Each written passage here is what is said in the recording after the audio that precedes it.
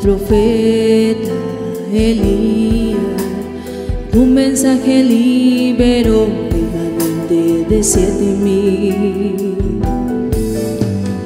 Es la quinta vez que Dios enviará al profeta Elías, serán liberados ciento cuarenta y cuatro mil.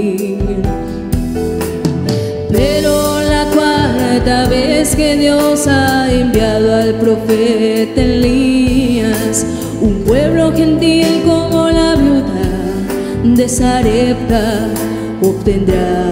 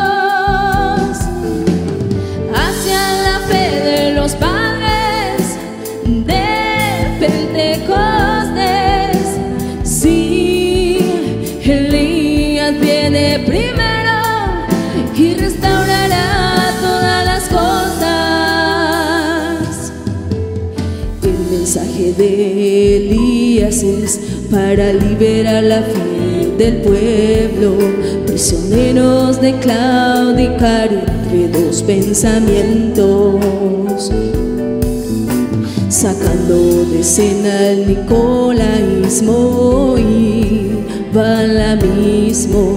Y después de la gran sequía por causa de Acab y Jezabel, traer de regreso lluvia temprana lluvia tardía. Y mi pueblo nunca jamás será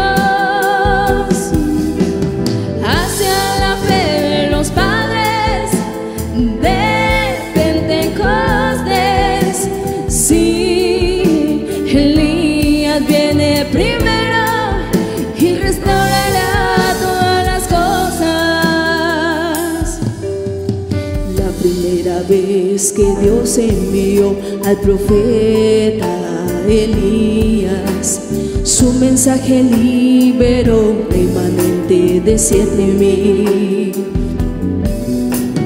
Es la quinta vez que Dios enviará al profeta Elías, serán liberados ciento cuarenta y cuatro mil. Cuarta vez que Dios ha enviado al profeta Elías, un pueblo gentil como la viuda de Sarepta obtendrá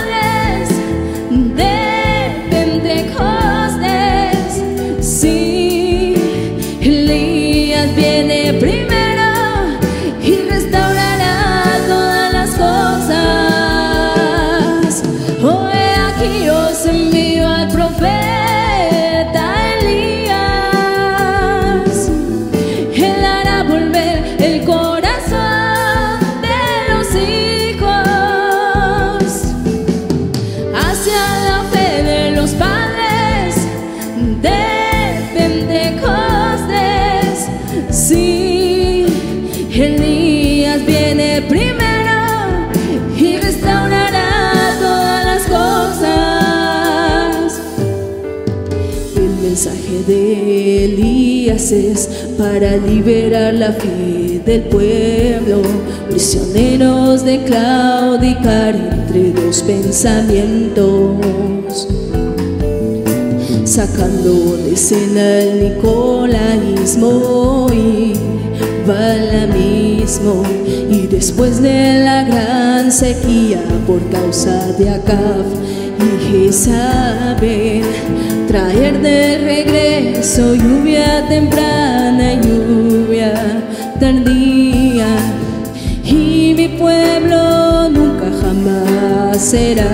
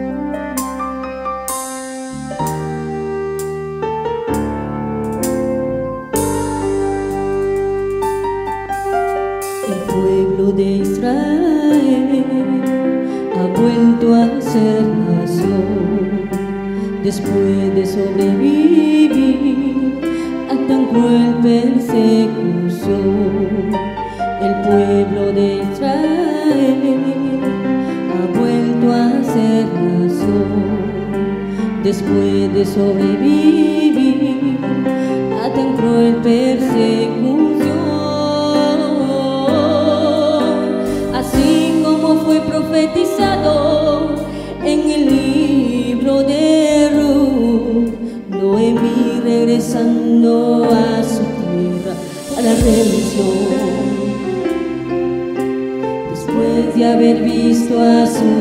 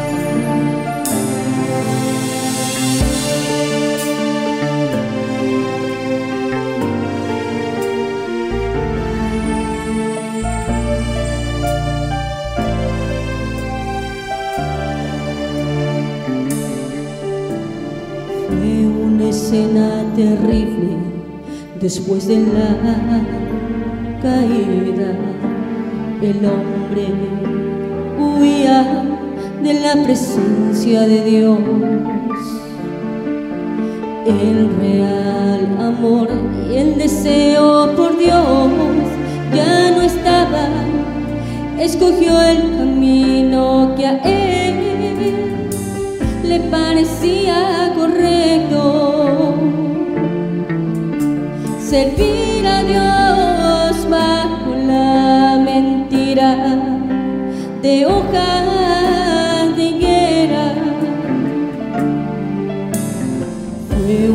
escena terrible después de la caída.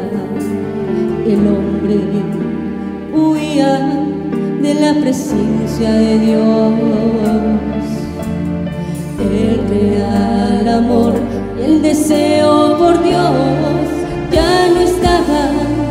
Escogió el camino que a él le parecía correcto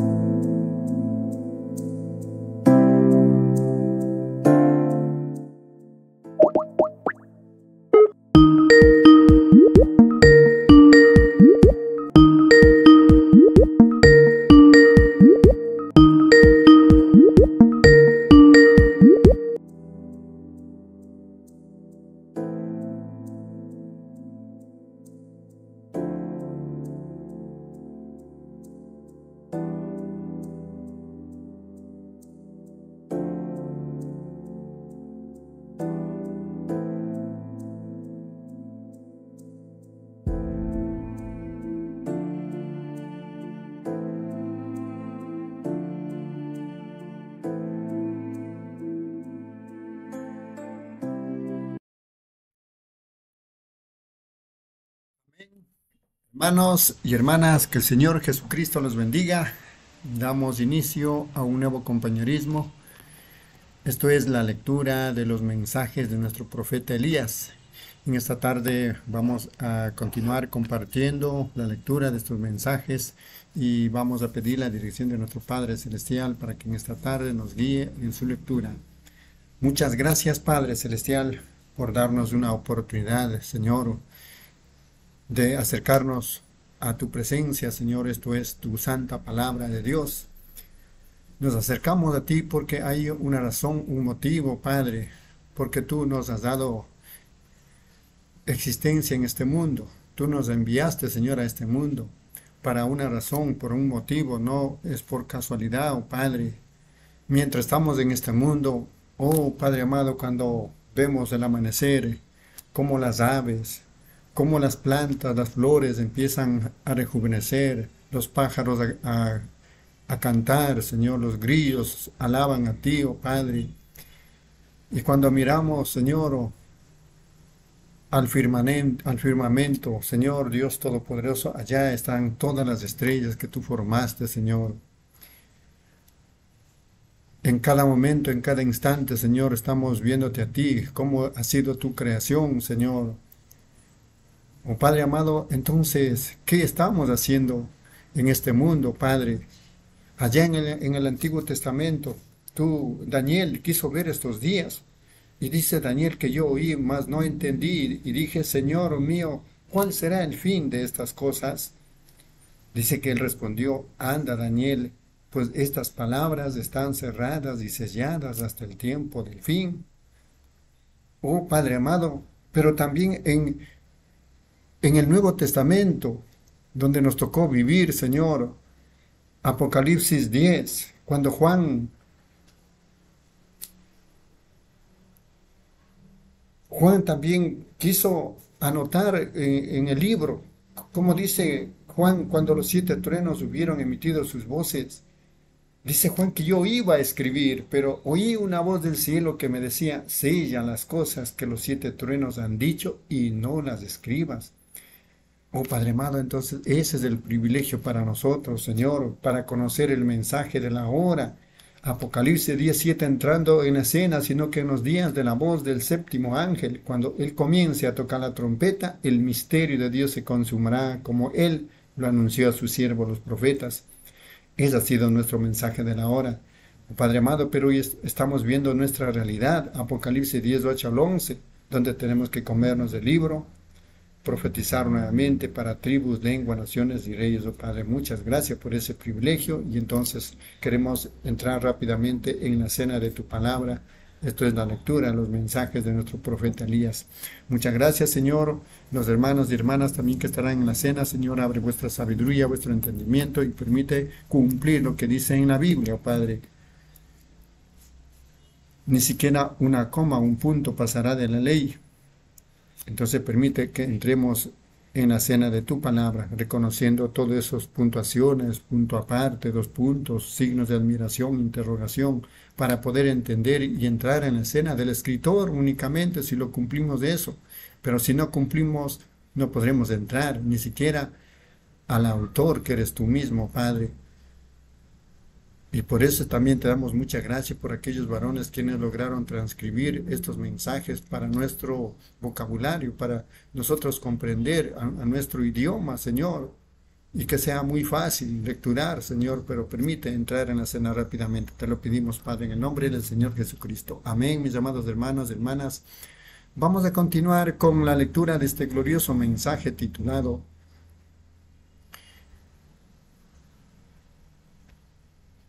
Identificada obra maestra de Dios. Este mensaje fue predicado en Yuma, Arizona, Estados Unidos, el día 5 de diciembre del año 1964. Continuando con la lectura, nos habíamos quedado el día de ayer en los párrafos 61, nos corresponde el 62 y vamos a formar el cuadro. En el 61 dice, así es como Dios hizo su pacto también nuestra experiencia no es para igualarse con algún credo, algún dogma, alguna denominación de la iglesia, pero es para igualarse con la palabra de Dios, Jesucristo. Cuando venimos a Cristo, entonces Cristo nos reclama. Él lo partió en dos en el Calvario. Una parte lo subió para sentarse en su mano derecha, lo cual fue el cuerpo. El espíritu, él vino, enviado aquí de nuevo para ser una novia para él. Y esta misma experiencia que estuvo en Cristo tiene que estar en nosotros. Amén. Él era, él era absolutamente tan perfecto hasta que él le agradaba al escultor y lo inspiró tanto hasta que le hirió en el Calvario. ¡Oh, qué cosa! Ahora lo vemos como la escritura dijo, la obra maestra de Dios. Lo hemos herido, golpeado y afligido por Dios. Allí está la verdadera obra maestra. Como ángel golpeó al suyo lo que fue hecho. Párrafo 62. Si él solamente hubiese vivido una buena vida, él habría sido como algunas de las personas que predican el Evangelio social hoy. Él era un profeta, él era un profeta, pero él era más que un profeta, él era Dios, él era Emanuel. Y ahora lo que le hizo exactamente para mí, la, la obra maestra para mí y para usted es porque Dios lo hirió. Él lo hirió en el Calvario. Si él no hubiera sido herido, no importa cuántos muertos había levantado, cuán maravilloso predicaba, lo maravilloso que fue su vida, lo que pretendía ser. Él fue comprobado allí, él estaba tan complacido. Dios, hasta que él era el único hombre que jamás se paró sobre la faz de la tierra que Dios podía herir por los demás. Este perfecto fue herido por los imperfectos. Toda la creación que se había caído por medio de Adán, fue redimida por medio de Jesucristo. La obra maestra de Dios pasó la prueba. ¿Cómo lo hizo? Por la palabra. Escrito está, no solo de pan vivirá el hombre, sino de toda palabra que sale de la boca de Dios. Párrafo 63. Oh amigo cristiano, pónganse toda la armadura de Dios. No se pare atrás con una pequeña idea de algún credo o algo por lo que usted se identifica. Póngase toda la armadura de Dios cuando, se, cuando sale para pelear con el enemigo, como lo hizo nuestro Señor. Él mostró cómo el cristiano más débil puede derrotar a Satanás con solamente la palabra. Él tenía poderes, él podía haber herido a Satanás en cualquier manera que él deseaba, pero no lo usó. Él solamente tomó la palabra y lo derrotó con ella. Escrito está, escrito está, en todos lugares. Escrito está. Así él derrotó a Satanás por la palabra de Dios. Párrafo 64. Ahora, esto fue una perfecta obra maestra y Dios lo hirió. ¡Qué ejemplo! Él fue. ¡Qué cosa tan real! Hablan de la escultura de Miguel Ángel allí, porque Moisés fue golpeado en la pierna. La Biblia dice, este hombre fue inmolado más que todo hombre. Él fue inmolado tanto hasta que él ni siquiera se parecía al Hijo del Hombre. Él fue golpeado, él fue molido, él estaba cubierto de sangre, él fue lacerado, él, todo lo que podía ser hecho. Él parecía como solamente como un montón de sangre y huesos caminando juntos. Él ni siquiera se parecía a un ser humano mientras se arrastraba hacia el Calvario. Dios lo hirió por nosotros. Esto es lo que le hace a él la obra maestra perfecta. Oh, cuánto le amo al saber que él hizo esto por mí, al saber que él hizo para esto para usted. ¿Cómo podemos? ¿Cómo podemos igualarlo? Nadie podría igualarlo. Nadie es digno de igualarlo. Estamos aquí sin esperanza. Nosotros sin Dios. Nosotros sin ninguna manera de ser redimidos cada uno nacido por manera sexual y solo teníamos que pagar el precio, pero él vino, el perfecto, y era tan perfecto y agradable hasta que Dios lo hirió por usted y por mí. Párrafo 65. Ahora, por casi dos mil años Dios ha estado intentando esculpir una obra maestra novia llamada una iglesia. Así es. ¿Cómo lo hace Dios? Lo hace por su método que nunca cambia, la palabra. Dios nunca cambia su método. Cualquier persona, usted puede, usted cambia, yo cambio, el tiempo cambia, el mundo cambia, pero Dios no cambia. Él es perfecto. Él no cambia. Y la manera en que Él hace algo la primera vez, Él lo hace cada vez de la misma manera. Él salvó al hombre una vez porque Él se arrepintió. Así es la manera que salvará al hombre otra vez. Él sanó un hombre porque Él tenía fe. Sanará al siguiente por lo mismo. Él nunca cambia su manera porque ve, Él es soberano y es eterno. Él es infinito, omnipresente, omnisciente. Él es Dios. Y entonces Él no tiene que pedirle sabiduría a nadie. Él no tiene que esperar hasta que aprenda más. Él no necesita un nuevo título. Él es perfecto y cualquier grado y lo que sea que Él hace primero, su primera decisión es, se mantiene igual por siempre. Nunca puede ser cambiada. ¡Oh, qué contento estoy! Párrafo 66. Y cuando Él hizo su primera obra maestra, lo puso detrás de la palabra cuando él hizo su segunda obra maestra, él era la palabra. Amén. Él era la palabra, no detrás de la palabra. Pero él era la palabra. Dios nunca cambia su plan. Esto es exactamente como él empezó para hacer su primera iglesia, la palabra. Ahora, Dios, la palabra, en el principio él era independiente de cualquier otro, cualquier otra cosa. Todas las demás personas Ahora, yo no quiero decir esto para ser diferente. Dios es un segregacionista. ¿Saben esto? Ustedes hablan acerca de la integración. Dios es un segregacionista. Seguramente lo hace. Él separa a su gente del mundo. Él separó a Israel, su nación. Él está intentando separar a su iglesia del mundo, pero la iglesia quiere seguir con el mundo. Pero su pueblo todavía está segregado, segregado a Él. ¿Quién es Él? La palabra. 67. ¿Cómo puede un hombre tener el bautismo del Espíritu Santo y el Espíritu Santo escribió la palabra y un hombre tiene el bautismo del Espíritu Santo y negar la palabra? ¿Cómo puede el Espíritu Santo dentro de usted negar su, su propia palabra que fue puesta para usted? Yo no lo entiendo. Tiene que estar de acuerdo con la palabra. Y si su espíritu no puntúan a cada una de las promesas de Dios con amén, hay algo mal. El hermano Fritz Scholman o alguien aquí en esta noche citó Jesucristo el mismo ayer, hoy y por los siglos. Él es la palabra. Eso, claro, Él siempre es igual, ve, y su espíritu tiene que puntuar esto con amén.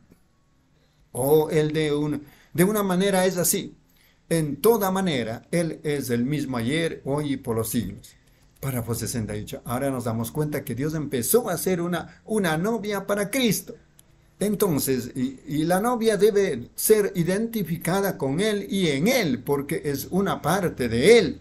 Ahora, la novia es una parte de Él, ella es parte de Él. La palabra por este día, la novia se hace parte de esta palabra porque es Cristo. Ahora, ¿ustedes creen esto? La congregación dice amén. Tenemos que estar en Cristo.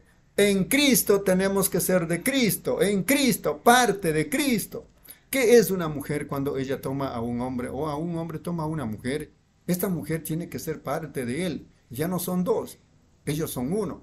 Y cuando Dios y Cristo se hicieron uno, ellos eran uno, porque Dios era la palabra y la palabra fue hecha carne. La carne y la palabra se hicieron uno. Y cuando la iglesia se hace la novia de Cristo, ella y los evangelios son lo mismo. ¿Cómo puede usted decir entonces los días de milagros ya pasaron? ¿Cómo puede decir entonces Él no es lo mismo ayer, hoy y por los siglos? ¿Cómo puede decir estas cosas son para un apóstol o un discípulo o alguien en otro día?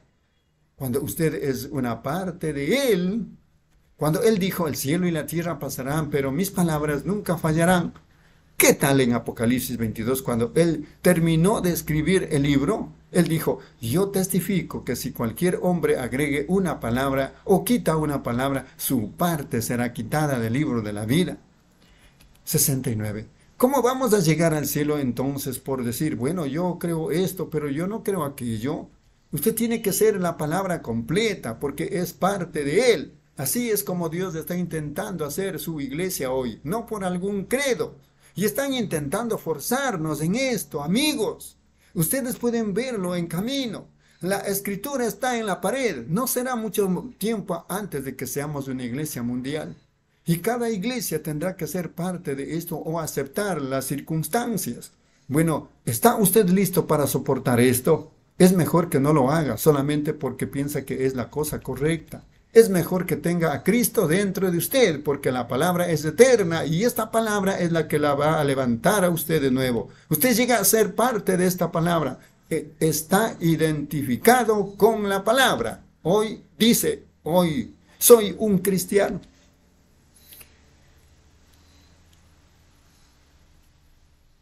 Párrafo 70. ¿A cuál denominación pertenece? Bueno, esto no tiene nada que ver con el cristianismo. Esta tiene, está bien tener las denominaciones. Yo no estoy en contra de esto, pero ve esto, esto es lo que es la gente. Muchas personas dicen que yo no hablo, perdón, que yo hablo mal de las denominaciones, que, lo, que las pateo. No lo hago. No, señor. Las denominaciones están bien. Eso es como tener un contrato o algo así. Pero cuando usted se afera porque dice yo soy un cristiano porque yo pertenezco a tal y tal iglesia, esto no significa nada. Usted tiene que ser de Cristo y Cristo es la palabra. Y muchas veces estas denominaciones están tan lejos de la palabra como él hizo lo que es del este, del oeste. Usted tiene que quedarse con la palabra para ser la novia. Si usted está dentro de la novia, está dentro de la palabra y la palabra está dentro de usted. Y la palabra que reflejó a Dios por medio de Cristo refleja al mismo Dios por medio de ti. Amén. Amén significa así sea. Entonces así sea. Yo creo que es la verdad. Usted tiene que ser identificado con él. Párrafo 71 por último. Ahora, si yo, si yo voy a ser un genuino norteamericano, si voy a ser un verdadero ciudadano de esta nación, yo tengo que ser identificado con ella. Yo tengo que ser todo lo que era, si fuera bien o mal. Tengo que ser todo lo que es, bien o mal. Todo lo que será, bien o mal. Yo tengo que ser identificado con esta nación. Si voy a ser un norteamericano, ¿es verdad esto? En su gloria o su vergüenza, libertad o fuego, lo que sea que ella es. Yo tengo que ser lo que la hace inmortal. Debo pararme unido. Todo lo que ella es, yo soy. Todo lo que ella será, yo tengo que ser parte de ella. Así es. Amén. Gloria a Dios. Amén, mis amados hermanos y hermanas. Que el Señor Jesucristo los siga bendiciendo. Estamos en esta tarde compartiendo la lectura de este glorioso mensaje titulado Identificada Obra Maestra de Dios, servicio realizado en Yuma, Arizona, Estados Unidos, el día 5 de diciembre del año 1964. A continuación, hermana Reina, por favor, en los párrafos 72 al 81. Amén. Amén. Dios les bendiga, mis hermanos. Continuamos con la lectura del mensaje Identificada obra maestra de Dios. Párrafo 72. Solo piénsenlo por unos minutos. Entonces, para hacer esto, como un norteamericano, se los voy a explicar para que estén seguros que lo entienden mientras cierro.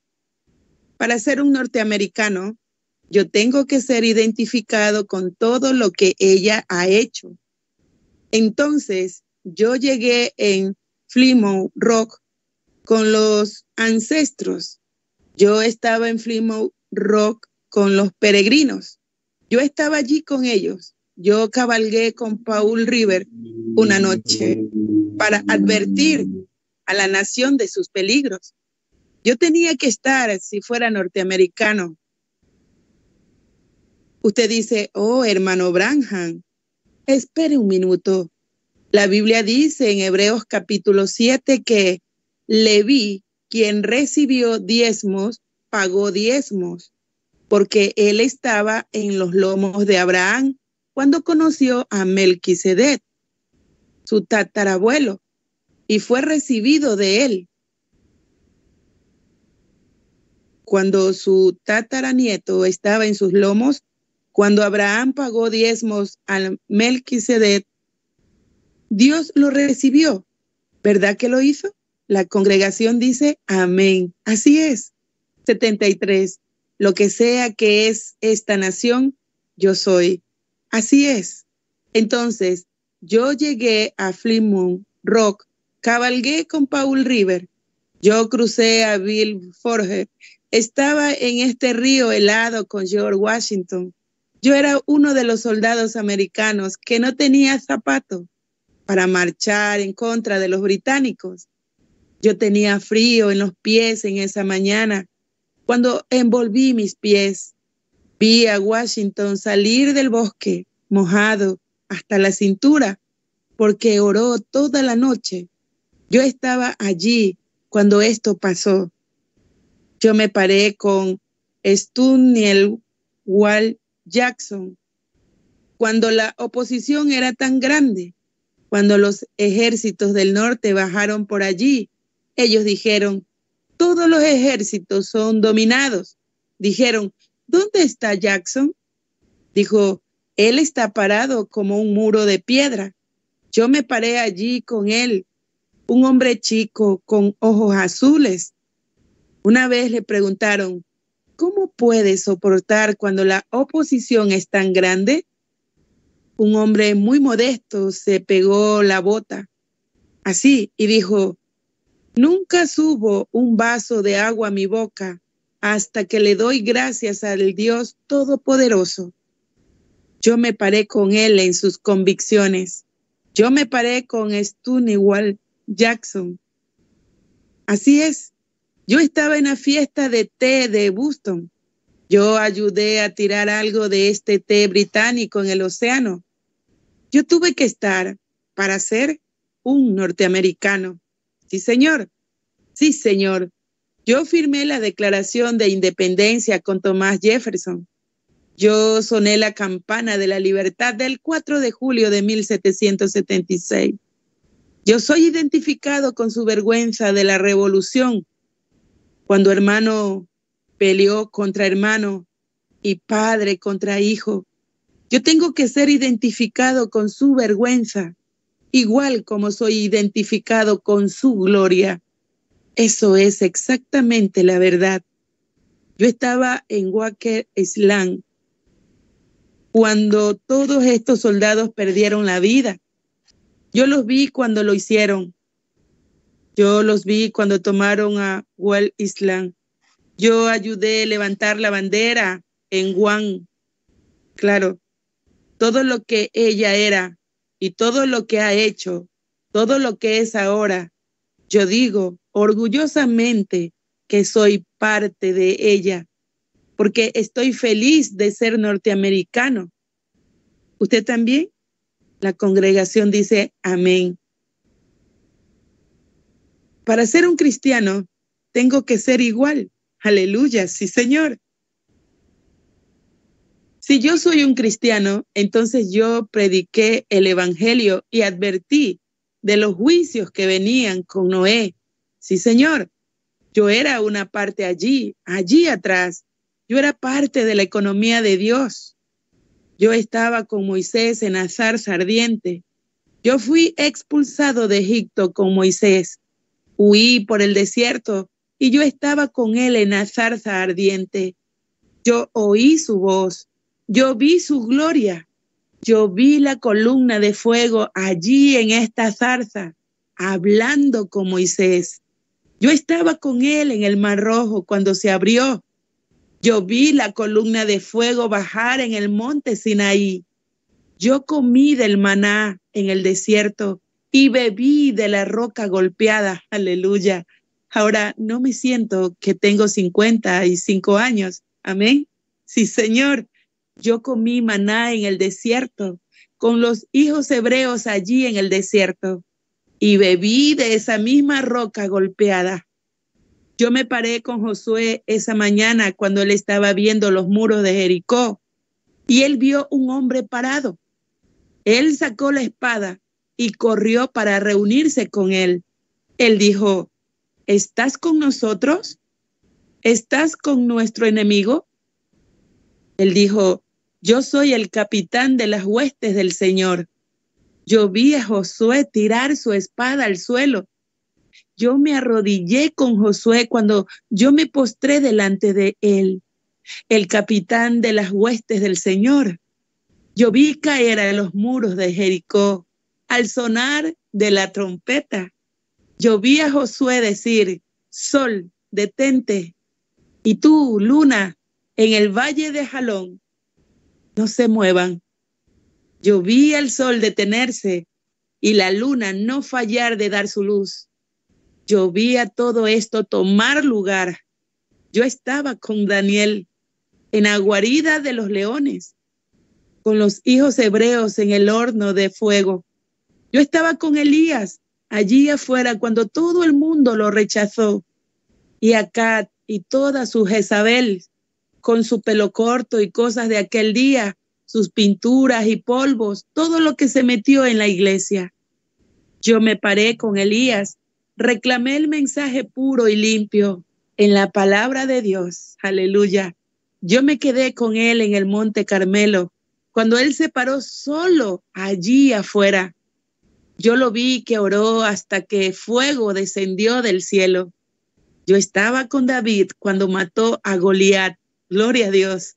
Bueno, si yo soy un cristiano, yo soy identificado en todo esto. Yo tengo que ser parte de ellos. Sí, Señor, yo profeticé con Isaías en su día. Yo estaba con Juan en el Jordán cuando él vio la paloma bajar sobre él. Yo me paré con Juan en el Jordán. Yo vi a él sanar a los enfermos, levantar a Lázaro, levantar la hija de Jairo de vuelta a la vida después de haber muerto. Yo vi esto.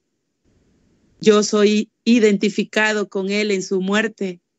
Yo morí con él cuando él murió en el Calvario y resucité con él en el poder de su resurrección. Yo soy testigo de ello en esta noche. Yo morí con él en el Calvario, resucité con él en Pascua, aleluya, para poder ser parte de él. Yo tengo que ser identificado con él. Yo fui identificado con él en su muerte. Yo fui identificado con él cuando las denominaciones lo rechazaron.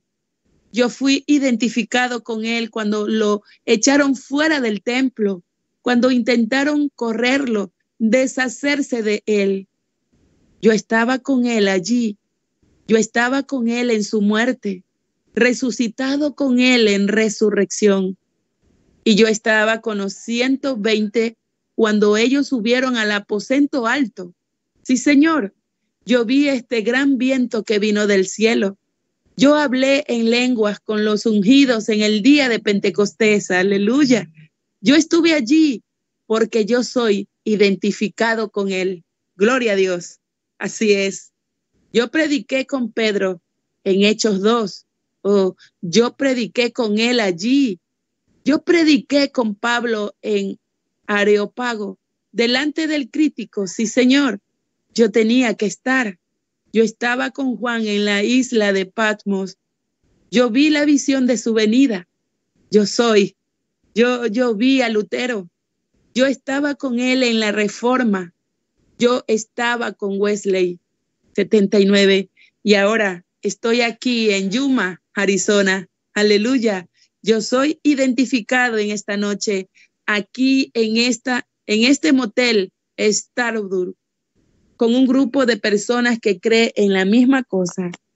Y ahora estamos sentados en los lugares celestiales con Cristo Jesús. Aleluya. Yo estoy esperando su venida en gloria. Uno de estos días, identificado con Él, viviendo, Él me amó. Muriendo, Él me salvó. Siendo enterrado, Él llevó mis pecados lejos. Levantado, él justificó libremente para siempre. Algún día Él vendrá. Oh, día glorioso. 80. Ahora yo soy identificado en el bautismo del Espíritu Santo. No algo allí afuera en la calle, algo hace 40 años. Yo lo tengo ahora mismo. La gloria y el poder de Dios, del perdón de pecados. Yo lo veo sanar a los enfermos abrir los ojos ciegos, lo veo predecir las cosas, leer los corazones de la gente. Yo estoy identificado con Él en su ministerio en este día. Gloria a Dios. Yo estoy identificado con Él por liberación en estos últimos días. Yo confío ser una parte de esta gran novia que viene uno de estos días. No importa lo que diga el mundo, pueden llamarnos locos, histéricos o belcebú o, o herejes, lo que quieran que sea. Yo todavía quiero ser identificado con este grupo. Yo sigo allí, yo nací allí, yo quiero mantenerme allí, yo siempre estaré allí porque Dios me puso allí. Yo soy. Yo dejé a mi iglesia, vine para identificarme con unos fanáticos. Yo soy uno de ellos. Yo soy identificado con ellos. Ellos dicen, Billy, has perdido la mente. 81, quizás sí, pero encontré la mente de Cristo. Yo encontré su palabra, encontré su presencia, encontré que Él es el mismo ayer, hoy y por los siglos. Importa lo que nadie más piense de ello. Este soy yo. Yo soy el que tiene que hacer mi identificación. Yo soy identificado con Él por la palabra de Dios. Él dijo, estas señales seguirán a los que creen. Yo estoy contento de que soy identificado en esto. Sí, Señor. Amén. Dios le bendiga, mis hermanos. Amén. Dios le bendiga la lectura, hermana Reina. Continuamos compartiendo este glorioso mensaje titulado Identificada Obra Maestra de Dios. Servicio realizado en Yuma, Arizona, Estados Unidos, día 5 de diciembre del año 1964. Para continuar con la lectura en los párrafos 82 dice, ¿saben? El anciano maestro violinista una vez. Ustedes han escuchado la historia. Ellos tenían un viejo violín y lo subastaron. Ellos querían venderlo y nadie quería comprarlo. Ellos dijeron, ¿quién dará un dólar? ¿Quién dará un dólar y medio? Finalmente yendo una vez, yendo dos, un dólar y medio. Finalmente un anciano canoso salió de la audiencia. Ustedes saben la historia lo levantó, dijo, démelo. Puso colofonía en su arco y lo tocó unas veces. La gente empezó a llorar. Las lágrimas empezaron a correr por sus caras, así. Y cuando hicieron esto, el subastador lo levantó otra vez, dijo, ¿quién lo hará? ¿Mil? Dijo, mil dólares dos mil, cinco mil. ¿Cuál era la diferencia? El maestro, él que lo conocía, él que lo construyó, él sabía cómo sacarle lo que tenía adentro. Y mientras nosotros intentamos sacar a nuestras iglesias de los credos y las denominaciones, nunca lo haremos. Dejen al maestro constructor de la, de la, humanidad, quien hizo al hombre a su propia imagen, quien está construyendo una novia para sí mismo, para las mismas cosas. Deje que su golpe del arco del Espíritu Santo toque esta palabra en el corazón de usted una vez y será nuestro mejor ejemplo. No importa cuántas iglesias grandes usted asista, y cuántos nombres estén en el libro. Será más para Jesucristo que todas las iglesias y denominaciones y credos de iglesias mundiales y organizaciones en todo el mundo. Para 84. Él está haciendo una novia. Sí, Señor. Él está cortando las virutas, quitándolo del mundo. O unirse a una iglesia y credos y denominaciones y dogmas. Todo tiene que ser quitado de la iglesia. Sus ideas formales, su indiferencia, sus doctrinas y cosas. Regrese y deje que el maestro levante el arco. Deje que el maestro levante a usted en sus manos, tocar la palabra, decir, Jesucristo es el mismo ayer, hoy y por los siglos. Diga, amén, Señor, hazme, moldéame, hazme, Señor, lo que yo debería hacer. Entonces habrá una cosa diferente. Entonces yo, si fuere levantado de la tierra, a todos atraeré a mí mismo. Sí, Señor. Él lo está cortando a usted ahora, cortando hasta que sea solamente su palabra lo que, la que quede, cortando todos los credos y dogmas y todo de usted, intentando recuperar una novia para el hijo o, otra obra maestra, parte de la palabra, la palabra. Párrafo 85. Jesús no podía tomar el lugar. Recuerde cuando leyeron este día en el libro. Él leyó solamente una parte de la profecía, dejó los, lo demás para el último día. Nosotros deberíamos tomar esta parte. Entonces, ve, Él ha cortado. Quiere sacar a la iglesia, justo como sacó al hijo, igual como Él hizo con la novia y el novio. Para ser su novia, usted debe de ser parte de Él no parte del credo, no parte de la iglesia, no parte de la denominación, pero parte de Él. Formado de cualquier otro tipo de forma, no, no funcionará. Usted tiene que ser formado de la palabra. Se corta el mundo de usted y deja solamente la palabra que viva en usted. El gran escultor está confiando en usted, dispuesto a pararse y ser formado en la semejanza de su requisito de lo que requiere su palabra. Y en los últimos días derramaré mi espíritu sobre toda carne y profetizarán vuestros hijos y vuestras hijas. Cristo es la obra maestra identificada de la palabra hecho carne. Le pide que usted se identifique en él por la misma palabra para hacer la obra maestra para la novia. Para 86. Ahora, hermanos, Dios tenía una obra maestra en aquel entonces para presentar al mundo. Ahora Él quiere una obra maestra hoy en día. ¿Está usted dispuesto?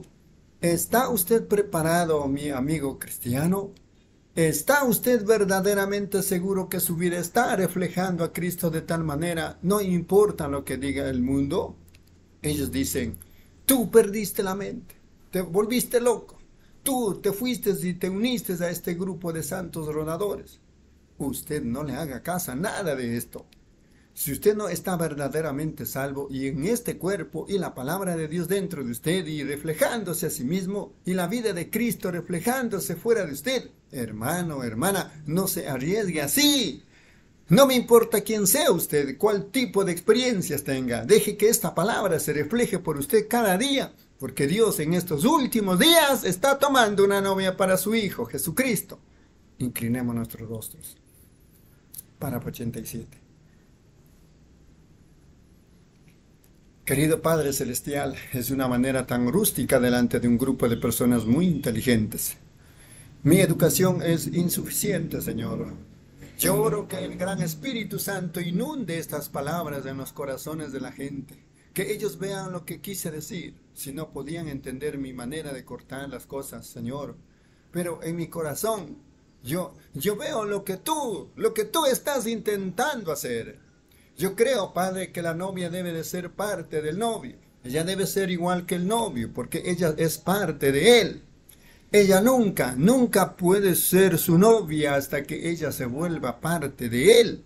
Y esto es una parte de la palabra hoy que dice que Él es el mismo ayer, hoy y por los siglos. La semilla de trigo que vivía una vez en la tierra y cayó en el suelo, se levantó en la semejanza del grano que entró en el suelo. Y Señor, en el día de Pentecostés había una gran iglesia que salió.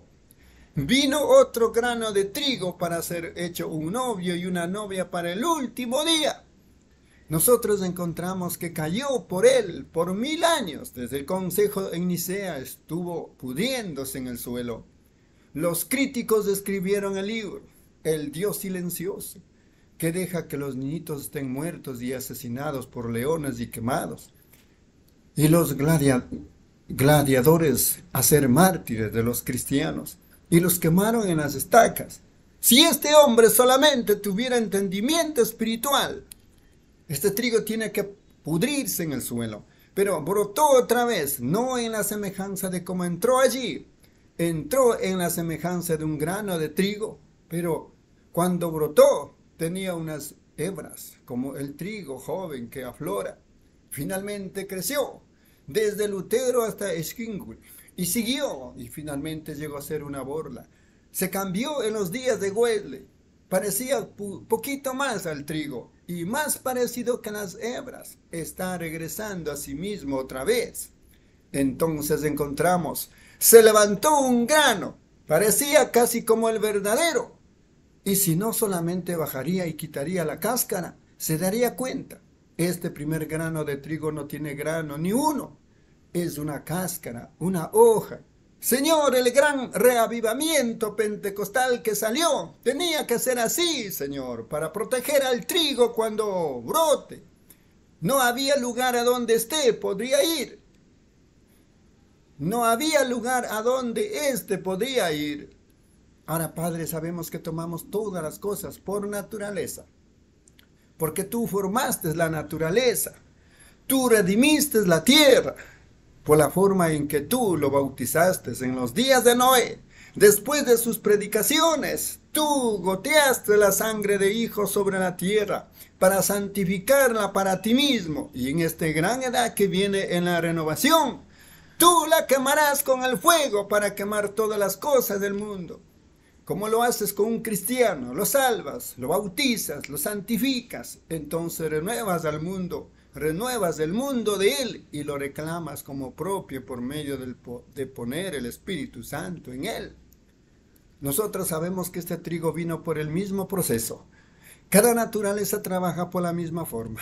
Ahora, Señor, cuando nosotros vemos a la vaina separándose del grano, haciéndose mundano. Oh Dios, concede que estos granos, la, la vaina tiene que separarse para que el grano entre en la presencia del Hijo. Escucho la venida de la cosecha, Señor. No tardará mucho. Y después del gran elevador subirá su novia a la gloria, a la presencia de Dios. Oro, Padre, que bendecirás a cada uno de nosotros, que recomendemos Señor, que esta es nuestra oportunidad. Podría ser que no tengamos uno mañana. Hoy es nuestra oportunidad. Hoy, después de tanto tiempo, cuando tú oyes su voz, no endurezcas tu corazón. Señor Dios, yo no conozco a estas personas. Si hay alguien aquí que no llega a esto, concede en esta noche que ellos reciban la plenitud de Dios y ser llenos con el Espíritu Santo. Concédelo, Padre. Ahora con nuestras cabezas inclinadas, también nuestros corazones, amigos, perdonen mi manera de cortar mi mensaje. Yo, yo oro que Dios les mostrará lo que quise decir. Ahora, si yo no quiero que nadie esté viendo, solo mantenga la cabeza inclinada. Yo no, quien sea que usted, que es usted, si no está seguro que su vida ahora ve cada uno de estos procesos. ¿Qué hicieron? Ellos se metieron en una organización. ¿Qué hizo él? El espíritu se fue a otro. Tan pronto como se organizó Lutero, él se fue directamente a Wesley. Se organizó Wesley, él se fue directamente a Pentecostés. Se organizó Pentecostés, ¿a dónde va a ir? Igual como la columna de fuego, solo continuar en marcha. Y algunas personas dirían, yo soy pentecostal, eso está bien, yo soy luterano, eso está bien, no hay nada en contra de eso. Amén. Continuamos con la oración del profeta de este glorioso mensaje titulado Identificada obra maestra de Dios, servicio realizado en Yuma, Arizona, Estados Unidos, el día 5 de diciembre del año 1964. A continuación, hermana Reina, los párrafos 92 al 99 y concluimos con este glorioso mensaje. Amén. Y le bendiga a mis hermanos. Continuamos con la lectura del mensaje Identificada obra maestra de Dios. Párrafo 92. Pero amigo, amigo, el trigo sigue en marcha. Hemos tenido uno de los reavivamientos más grandiosos. Ha, ha durado más. La historia muestra que un reavivamiento solamente dura unos tres años. Este ha sido de 15 años o más grandes campañas de sanidad, pero ahora se ha enfriado. Mire, cada reavivamiento siempre produce una organización que le sigue. ¿Por qué a este no? Hay un pequeño grupo de hermanos que empezaron aquí por algún sitio llamado la lluvia tardía. No llegaron a ningún lado. Se cayó directamente. ¿Por qué? Es la edad del trigo mi amigo, es el trigo. Hay un ministerio en la tierra justo como el que entró en el suelo allí atrás en el principio, una verdadera experiencia pentecostal. Las iglesias están organizándose y una está intentando construir más grande que la otra y conseguir más miembros y cosas. Las organizaciones gradualmente lo vemos. Yo soy pentecostal. Lo vemos que está separándose. ¿Pero qué? Tiene que hacer esto primero. Si no había ninguna vaina alrededor, no tenía dónde ir. Dios lo hizo una vaina, ¿ve? como el maíz, como el trigo, como cualquier otra cosa que viene del erizo. Ahora, ¿ve? No ha habido ninguna organización levantándose después de esto. ¿Por qué? Ya no hay tiempo para una. Estamos al final. 93. Y si usted no está exactamente donde debe de estar, y usted diría, hermano Branham, si Dios oirá su oración para los enfermos, y yo he escuchado de lo que el Señor ha hecho para responder a la oración. Y usted ha escuchado de otras personas en el mundo hoy, están orando. Dice, yo, usted orará por mí, que yo reciba esta experiencia, hermano Branham. Podría ser que nunca lo vuelva a ver, quizás nunca lo vea, pero ore que yo esté allí yo no me siento que yo estaría allí ahora, pero me gustaría que usted orara por mí, que yo estaré. Ahora, cada rostro inclinado, levante la mano. ¿Quiere? Señor le bendiga a usted y usted, Dios le bendiga. En este grupo de personas, supongo 50 quizás o 75 manos se levantaron. Ahora, querido Jesús, Tú eres el juez. Nosotros solamente somos los ministros. Yo oro, querido Dios, y, y si yo he encontrado gracia en tus ojos, contesta mi oración. Tú vistes cada mano levantada. Tú sabes lo que estaba en su corazón. Nosotros queremos que ellos estén ordenados a la vida. Y Satanás, justo como en los días de Adán, él está intentando impedir que salga esta obra maestra, que se pare en esta noche, que la sangre de Jesucristo lo bloquee y que ellos salgan como una obra maestra para Dios. Concédalo, Padre. Que ellos sean identificados en la palabra de Cristo. Él dijo, el que no naciere de nuevo, que ellos reciban esta experiencia del nuevo nacimiento que ellos reciban el bautismo del Espíritu Santo, la renovación de todas las cosas del mundo. Ellos no lo quieren más, Señor. Lava todo lo del mundo de ellos y sácalos como una obra maestra delante de la gente. Concédalo, Señor, que puedas tú estar contento en esta edad del tiempo del jardín, en los últimos días aquí, para presentar tu obra maestra de estos hombres y mujeres, niños y niñas que levantaron la mano. Concédalo, Señor. Bendice este reavivamiento que está pasando en la ciudad.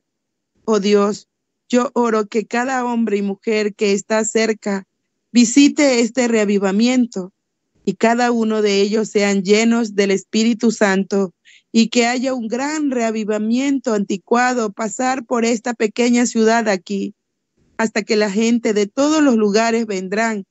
Concédalo, Señor. Danos estas cosas, Padre, porque lo pedimos en el nombre de Jesús. Amén. 95. Yo le amo. Yo le amo. ¿Usted le ama? La congregación dice amén. ¿Saben? Pablo dijo, si yo canto, canto en el Espíritu. Me pregunto, a mí me falta mucho para llegar a, ser un cantante, pero solo pregunto, juntos, si podríamos empezar este canto, yo le amo, nos dará el tono hermana, porque primero él me amó a mí. ¿Lo han escuchado? ¿Cuántos lo saben? Veamos sus. Es uno de mis cantos viejos. A mí me encanta cantarlo. Bien, ahora inclinemos los rostros y cerremos los ojos y cantemos ahora, yo le amo, yo le amo, yo le amo, porque primero Él me amó a mí y me compró la salvación en el árbol del Calvario. Tarareámoslo. El hermano Branja empieza a tararear, yo le amo. Algún día los arcos iris pasarán por el cielo, sonará una trompeta, los muertos en Cristo se levantarán. Oh, cómo lo queremos en este tiempo. Y me compró la salvación en el árbol del Calvario. Allí es donde Él se hizo la obra maestra para nosotros. El hermano Branham empieza a tararear Yo le amo. Recuerden, todas las obras maestras, antes de que puedan estar puestas en el Salón de la Fama, tienen que pasar por el Salón de los Críticos primero. Los críticos tienen que ver si pueden criticarlo, pero cuando soporta a los críticos, entonces se la llevan al Salón de la Fama. El Hijo de Dios pasó por los críticos de cada organización, denominación, hasta que Pilato dijo, yo no hallo en él ningún delito. Judas dijo, he entregado sangre inocente. Entonces Dios lo levantó y él está colgado en el gran salón de la fama hoy, en la mano derecha de Dios, haciendo intercesión. ¿No quiere usted reunirse con él allí? ¿No quiere usted ser parte de esto? Puede serlo. Usted está invitado a hacerlo mientras estamos cantando este canto, porque usted no platica con él ahora. ¿Por qué usted no platica con él ahora? Primero, él me amó a mí y me compró la salvación en el árbol del Calvario. Mientras lo cantamos, otra vez quiero que salude a alguien al otro lado de la mesa de usted. Diga, Dios le bendiga. Amigo cristiano, Dios le bendiga, ore por mí. Cada uno de ustedes hágalo ahora mientras cantamos esto otra vez. Yo le ore por mí, ore por mí, le amo, porque Él, así es, salude, diga, ore por mí. Todos ustedes oren por mí. Yo quiero tanto estar allí y me compró la salvación en el árbol del Calvario. Ahora inclinemos nuestros rostros y cerremos nuestros ojos y levantemos nuestras manos y cantemos a Él ahora. Yo, oh Dios, yo le amo, porque primero Él me amó a mí y me compró la salvación en el árbol del Calvario. Mire a su obra maestra colgada allí.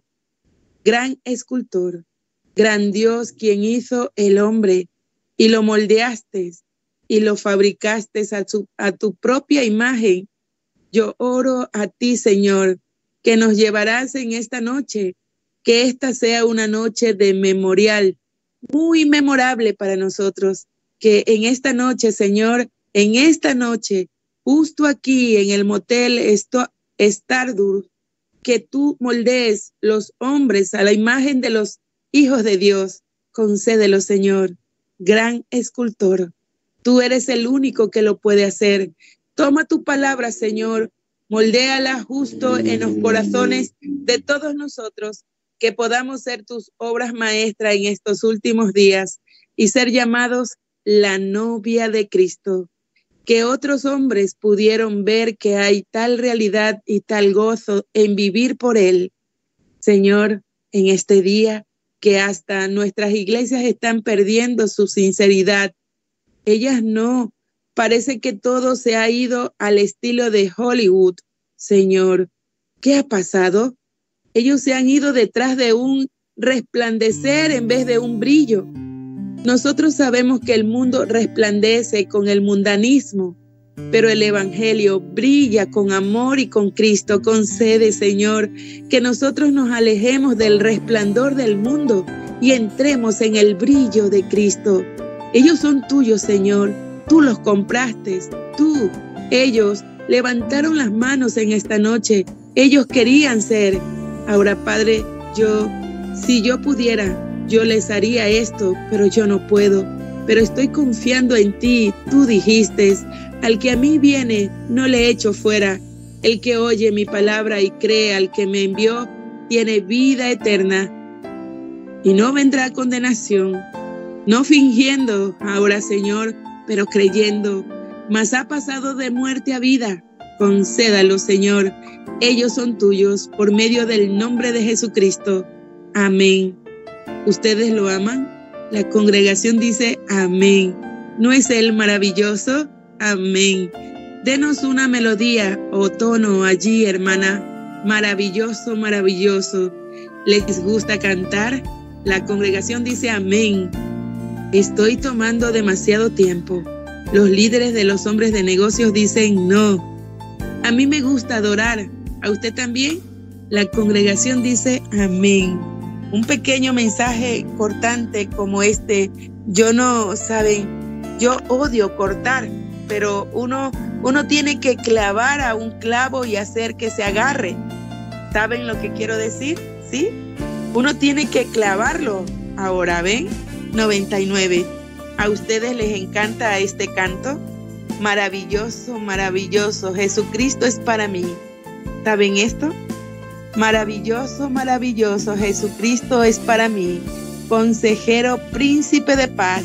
Dios poderoso es Él salvándome, guardándome de todo pecado y vergüenza. Maravilloso es mi redentor. Alabado sea, sea su nombre. Una vez yo estaba perdido, ahora me encontró y estoy libre de condenación. Jesús da libertad y una salvación completa, salvándome, guardándome de todo pecado y vergüenza. Maravilloso es mi redentor. Alabado sea su nombre. Todos, maravilloso, maravilloso. Jesucristo es para mí, consejero, príncipe de paz. Dios poderoso es Él, salvándome, guardándome de todo pecado y vergüenza. Maravilloso es mi redentor. Alabado sea su nombre. Ahora digamos, alabado sea el Señor. La congregación dice, alabado sea el Señor. Alabado sea el Señor. ¿No se siente usted limpiado? Amén. ¿Se siente bien? Alaben al Señor. Él es maravilloso. Dios les bendiga hasta que los vea otra vez. Ahora le daré el servicio al hermano presidente. Dios le bendiga, mis hermanos. Amén, hermana Reina. Dios le bendiga la lectura, mis amados hermanos y hermanas. De esta manera hemos concluido la lectura de este glorioso mensaje titulado identificada obra maestra de Dios. Servicio realizado en Yuma, Arizona, Estados Unidos, el día 5 de, diciembre del año 1964. Que quede guardado en cada uno de nuestros corazones. El Señor Jesucristo los bendiga.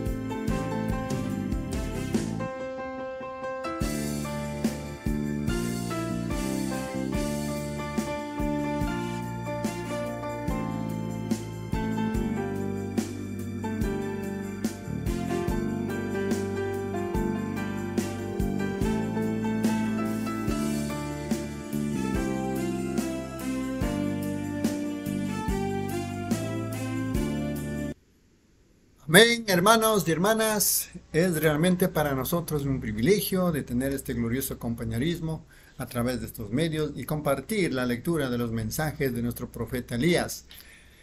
Siguiendo el orden cronológico de los mensajes, en esta tarde vamos a tener el privilegio de iniciar un nuevo mensaje Este se titula El tiempo de la ciega, servicio realizado en Phoenix, Arizona, Estados Unidos, el día 12 de diciembre del año 1964. Iniciamos la lectura mucha honra. En los párrafos 1 dice, gracias hermano Will.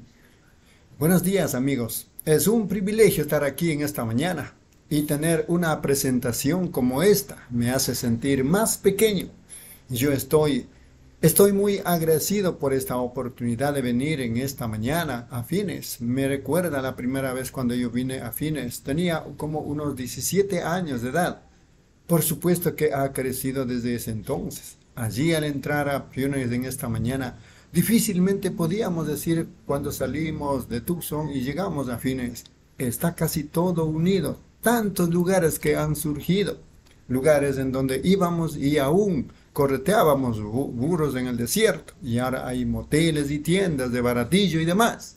Y por supuesto, eso me dice que me estoy haciendo viejo. Párrafo 2. Y luego me siento aquí al lado de mi buen hermano, el hermano Valde, y yo, yo dije, bueno hermano, estábamos hablando, y yo dije, bueno, por supuesto, me estoy haciendo viejo. Y yo dije, me doy cuenta de eso mis millas se están acumulando. Yo dije, esperé hasta que usted tenga mi edad o algo así. Yo estaba, estaba sorprendido al saber que él era como 12 años mayor que yo.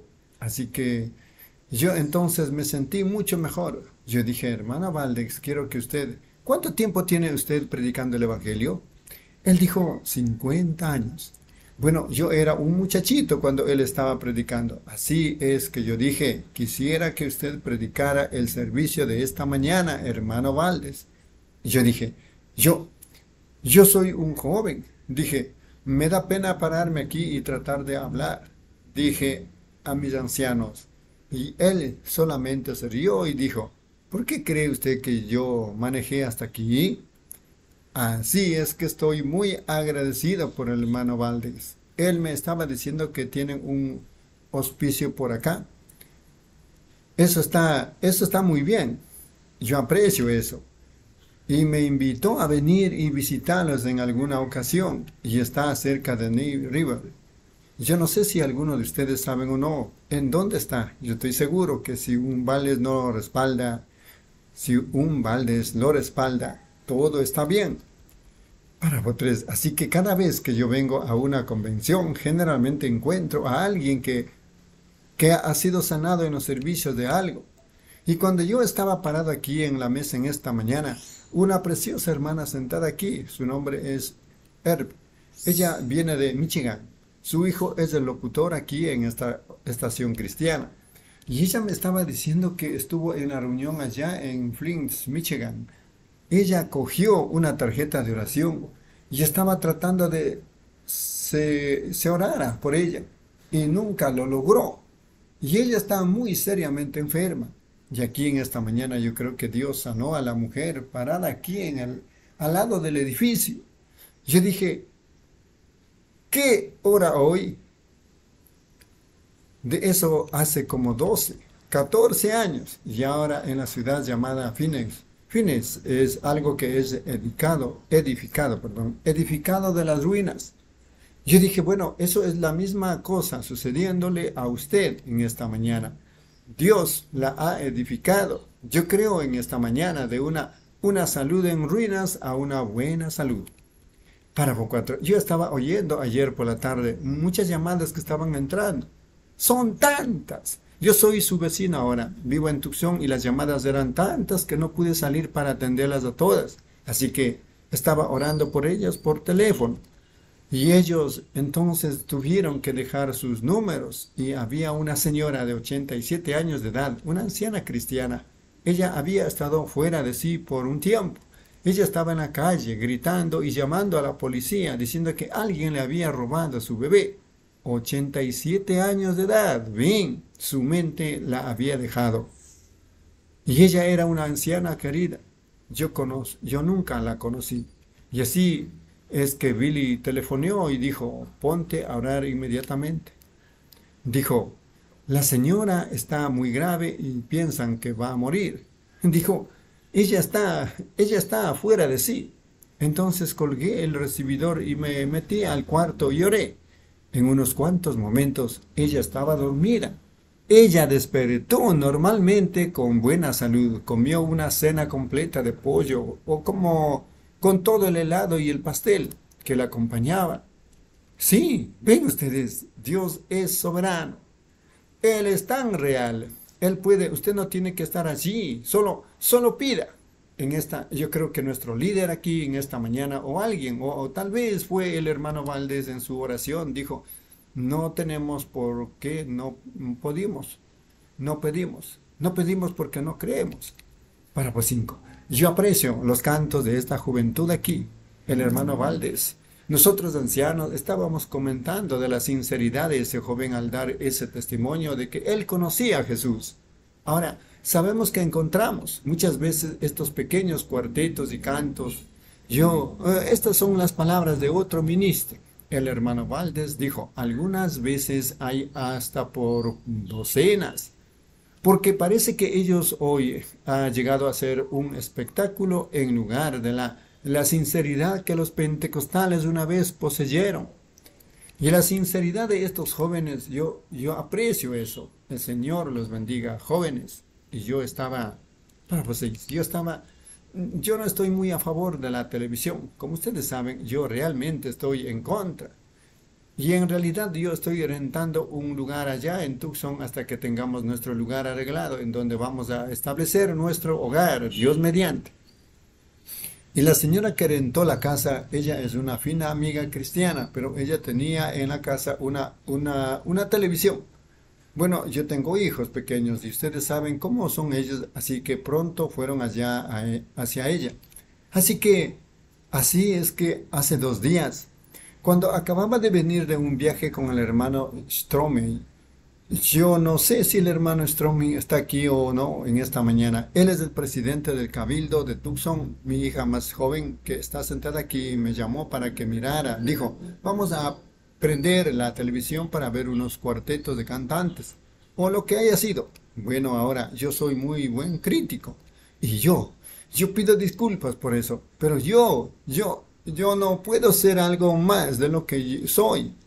Si yo hago algo contrario a mi propia hechura, yo soy un hipócrita. Yo no quisiera hacer eso delante de ustedes. Yo, yo quiero ser justamente lo que soy. Y entonces ustedes saben cómo estamos parados. Y yo, yo pienso que critico un poquito de más. Critico un poco, un poquito de más, perdón. Pero simplemente tenía en mi corazón de criticar eso, porque a mí me pareció como una imitación de Hollywood mucho comportamiento desagradable. No se miraba lo sagrado como debería de ser. Y ellos cantaron esos himnos con un ritmo de rock and roll y usando zapatos dorados. ¿Y qué ha llegado el Evangelio a tal grado de ser un espectáculo? Pero yo, si eso es lo que es, yo, yo no quiero nada que ver con eso. Yo quiero algo que sea real y genuino y queremos mantenerlo de esa manera. Amén. Ahora, yo, yo creo que si paso estos dos aquí, hermanos, que me escuchan mejor ahora.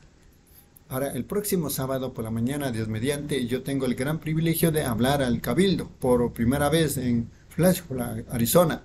El hermano aquí, olvide su nombre, es el presidente, un hermano dice Chester. Chester, Hermano Chister Earl, acabo de tener la oportunidad de conocerlo en esta mañana cuando estaba saludando de manos aquí al fino, de, fino evangelista de India, un hermano indio. Y él dijo que el próximo sábado por la mañana yo voy a hablar allí. Todos ustedes están cordialmente invitados a atender a esta reunión. Esperamos que el Señor nos bendecirá. Y luego el siguiente lunes por la noche en Tucson es un banquete el Señor me ha dado el honor de hablar ah, en el banquete allá el, el, día 21 de diciembre en Tucson. Ciertamente ustedes están cordialmente invitados a atender ese banquete por la noche.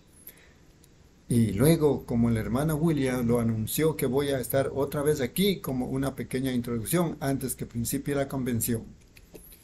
Párrafo 8. Y Así es que estoy recibiendo alguna, algo de esta estática de allí, hermano William. Hay, ¿qué dice?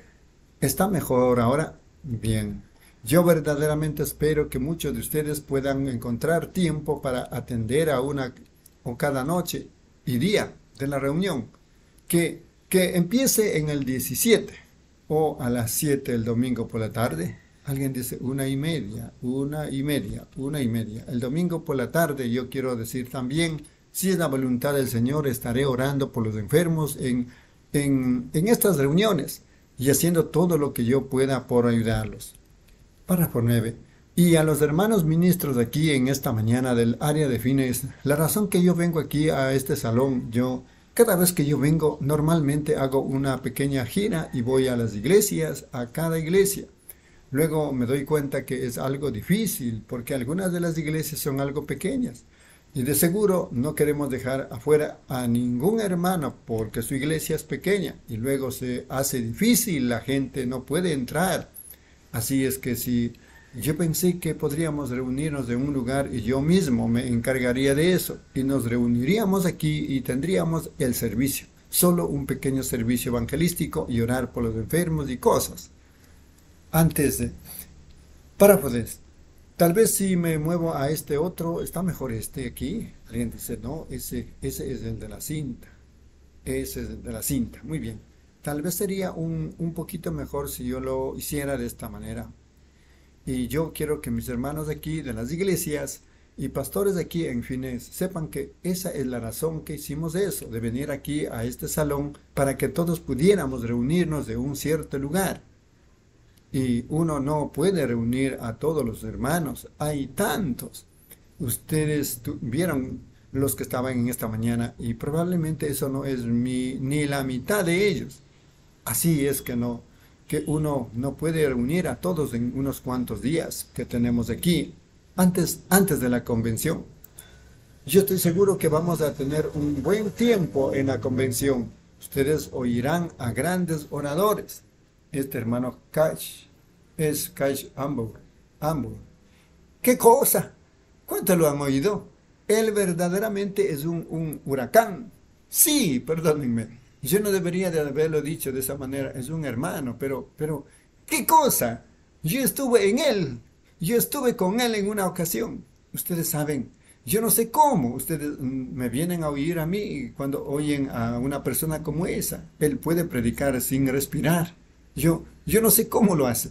Yo, pero desde luego dice bastante. Yo estuve con él en mi convención de Nueva York recientemente y él quería llevarme a, cenar después de la reunión y fui a, un lugar y estaba a punto de salir cuando el hermano, él, él predicó de acá para allá por todo el piso y por todas partes. A todos los que estaban allí, él es un tipo, un tipo especial en sí mismo. Amén.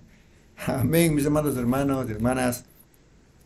Recordando que en, esta tarde hemos iniciado a compartir un nuevo mensaje titulado El tiempo de la ciega.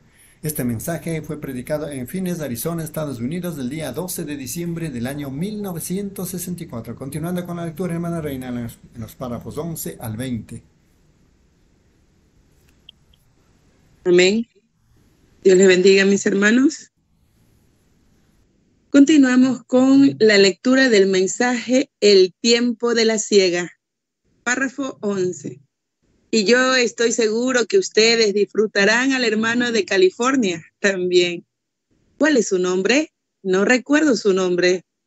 El que es uno de, los oradores. Yo olvidé su nombre también, pero él es un orador vigoroso y ustedes lo disfrutarán. Habrá probablemente grandes oradores allí, como ustedes saben, el hermano Robert y muchos de los grandes hombres de este día. Así es que estoy agradecido de pensar acerca de una escritura que viene a mi mente aquí en este momento. Y en una ocasión David estaba mirando el arca del Señor que estaba en tiendas. Y él dijo, él estaba sentado con el profeta de ese día, Natán y así que él dijo, está bien que yo more aquí en una casa, viva en una casa de cedro y el arca del pacto de mi Señor en una tienda. Y el profeta le dijo, haz todo lo que está en tu corazón, David. porque Dios es contigo. Eso es todo lo que sabía decir. Pero esa noche el Señor se encontró con el profeta y dijo, ve y di a mi siervo David que yo lo tomé de la majada, de detrás de esas cuantas ovejas, ustedes saben, y le he hecho nombre como el de los grandes hombres, no el nombre más grande, no el nombre más grandioso, pero lo conté con los grandes hombres que estaban en la tierra en ese tiempo. Y yo pensé, la gracia de Dios allá para David. Y yo pensé, yo pudiera tomarlo para mí mismo cuando reconozco el privilegio de este día en el que estamos viviendo, los días finales de la historia del mundo y ser contado entre tales hombres como los que han asistido a estas reuniones. Y el Señor los bendiga muy ricamente.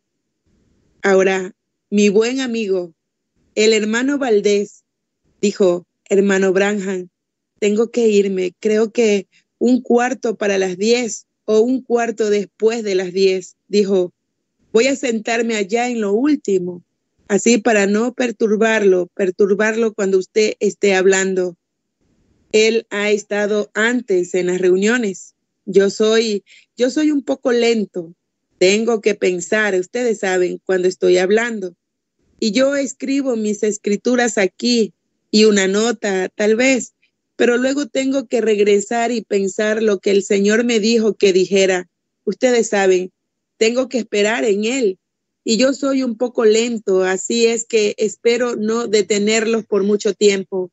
Y en esta mañana, yo le pregunté al hermano Williams, le dije, hermano Williams, ¿cuánto tiempo tengo? Yo dije, ahora yo tenía una escritura aquí sobre la que pudiera hablar la cual me tomaría como 30 minutos o algo, y despedir a todos e irnos a casa. Y yo dije, pero me gustaría tener una pequeña lección, si es posible, y en lo que yo pienso que sería algo para ustedes hoy, algo que pudieran llevarse a casa con ustedes y meditar en ello. Y yo de seguro no me hubiera levantado en esta mañana a las tres y media o 20 minutos para las 4 y prepararme para venir aquí solo para ser visto. A mí, a mí, a mí no me interesa ser visto.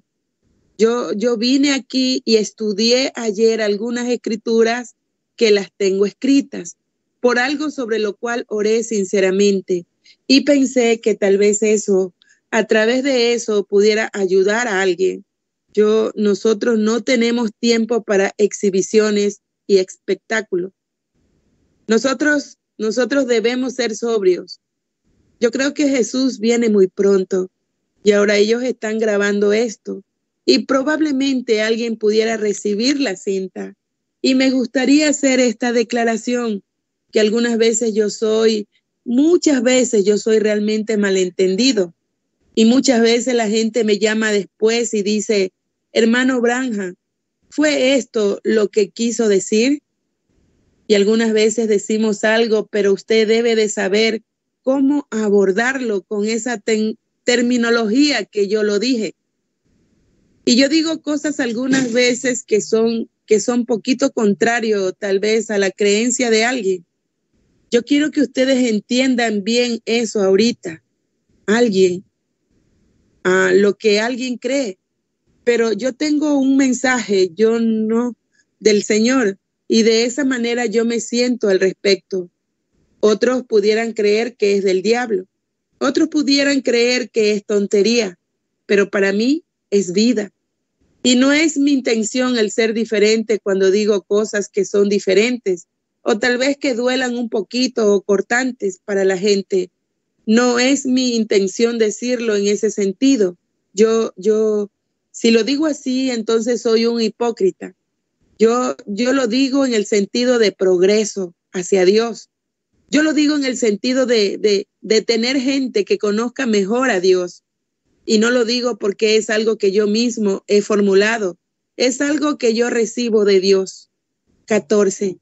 Y ahora, en caso de que hable sobre algo en cualquiera de estas convenciones, que hiera a la gente o decir, yo no creo eso de esa manera. Bueno, yo he hecho con frecuencia esta declaración ruda y mi esposa sentada aquí escuchándome, ella sabe que no hay mucha formalidad respecto a mí. Yo, yo, es como cuando uno está comiendo pollo y encuentra un hueso. Ahora, nunca ninguno que es amante de comer pollo tira el pollo porque se encuentra un hueso. Él solo tira el hueso y continúa comiéndose el pollo. La misma cosa al comer un pastel de cereza. Si yo encuentro una semilla, yo, yo, yo nunca tiro el pastel, yo solo tiro la semilla. Así que, y lo que yo digo aquí, que pudiera parecer en cualquiera de mis reuniones, que parezca como una semilla para usted, bueno, usted simplemente haga eso a un lado, diga, atribúyalo a que no sé tanto de ello como usted ha de saber. Así es que entonces usted siga adelante y coma lo que usted piense que es correcto. Y yo, párrafo 15, yo confío ahora que el Señor bendecirá su palabra. Yo soy un firme creyente en la palabra y la palabra únicamente, solo la palabra únicamente. Y ese es el mensaje que el Señor me ha dado. Somos diferentes uno del otro. Yo me fijé en esta mañana en mis hermanos misioneros, evangelistas y pastores parados aquí, tal vez, tal vez cien o más de ellos parados aquí. Cada uno de ellos es más capacitado para pararse aquí y hablar que yo. Yo estoy seguro de eso, pero ven, cada uno de nosotros, uno no puede tomar el lugar del otro. Uno no puede tomar el mensaje del otro, ¿ven? Tenemos nuestras maneras diferentes. 16. Dios es soberano. Cuando Él, ¿quién? ¿Quién podía decirle a Dios cómo hacer las cosas en el principio cuando allí estaba solamente Él? ¿Ven? Y si nosotros tenemos vida eterna, solamente hay una forma de vida eterna y esa es Dios. Así es que si nosotros tenemos vida eterna, nosotros estábamos allí con Dios, una parte de Dios. Nosotros éramos su atributo. Nosotros somos ahora su atributo. Y porque en el principio era la palabra. Y una palabra es un pensamiento expresado. Así es que éramos sus pensamientos. Entonces, al expresarlos en palabra, llegamos a ser lo que somos. Esa es la razón que nuestros nombres, tal vez no los que tenemos hoy, pero nuestros nombres fueron puestos en el libro de la vida del Cordero antes de la fundación del mundo. ¿Ven? Y si no estaban entonces allí, nunca estarán allí. ¿Ven? Y Jesús vino a redimir a todos esos que sus nombres estaban en ese libro. ¿Ven? Él sabía. 17. El alfarero. Como Romanos 8 nos dice, ¿quién puede decirle al alfarero? ¿Puede el barro decir, hazme así y así? ¿Ven? No. Dios tiene que desplegar todos sus atributos. Y así es que Él tiene que hacer un vaso de deshonra y el otro para honra, para hacer sobresalir al otro, por supuesto. Ahora, pero Él es soberano. ¿Ven ustedes? Nadie puede decirle qué hacer y Él nos hace diferentes. Aún se nos dijo en la Biblia que las estrellas son diferentes una de la otra. Una estrella es diferente de la otra. Ustedes saben, hay una diferencia en el cielo entre ángeles, seres angélicos. Hay ángeles, hay querubines, hay serafines y hay, hay diferencia allí. Y todos nosotros somos diferentes. Y Dios tiene grandes montañas. Él tiene llanuras, praderas, grama, desiertos, manantiales. ¿Ven? Él es él es diferente. Él es un, Él es un Dios de variedad. Y mire a su pueblo aquí en esta mañana. algunos de nosotros blancos, algunos negros, algunos cobrizos, algunos amarillos, algunos rojos. ¿Ven? Es, es su pueblo. Él es un, Él es un Dios de variedad. Y así que yo pienso que Él tiene la misma cosa entre sus ministros. 18. Ahora inclinemos nuestros rostros por un momento para orar. Y voy a decir esto ahorita antes que leamos la palabra. Yo sé que si yo me prolongo un poquito y ustedes tienen que levantarse y salir, yo entenderé, ¿ven? Yo entenderé perfectamente. Oremos ahora.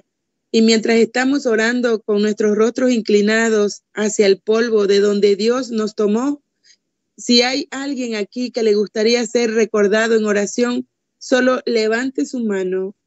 Él, sabe bien lo que está en su corazón. Detrás de esa mano. 19. Amado Padre Celestial, estamos abordándote solemnemente con nuestros rostros inclinados hacia el polvo de donde tú nos tomaste. Y luego en nuestras mentes estamos pensando que tú le dijiste a Abraham una noche, que si él podía contar la arena que estaba en las orillas del mar, y luego tú le dijiste que mirara a las estrellas y que si él podía contarlas, por supuesto, era imposible. Y tú le dijiste que su simiente sería innumerable como las arenas de las orillas del mar y las estrellas que iluminan los cielos. Ahora nuestras mentes, nuestro pensamiento, nuestros pensamientos en nuestras mentes, quise decir, mientras inclinamos nuestros rostros hacia la arena de donde provenimos, al mismo tiempo nuestros corazones miran hacia el cielo, a donde vamos, de arena a estrellas, siendo la simiente de Abraham, muertos en Cristo, somos la simiente de Abraham y herederos con él de acuerdo a la promesa. Y hemos venido aquí en esta mañana para tener compañerismo alrededor de los alimentos naturales de vida, los cuales hemos tomado para salir de eso. Y ahora estamos deseosos de ti, que nos des de ese maná celestial, ese alimento que nos dará fuerza en la vida que está en nosotros, así como la sangre lleva esta comida ahora para fortalecerla, para hacer más células, para hacernos fuertes para el día, que podamos recibir de Cristo para que Él pueda entrar en nuestros espíritus esta mañana a través de la palabra y, y, nos fortalezca para la hora que estamos viviendo, porque el día está muy avanzado y las sombras del atardecer están cayendo. La luz del atardecer está aquí y pronto escucharemos el llamamiento, sube acá y queremos estar listos en esa hora. Así que ayúdanos, Padre.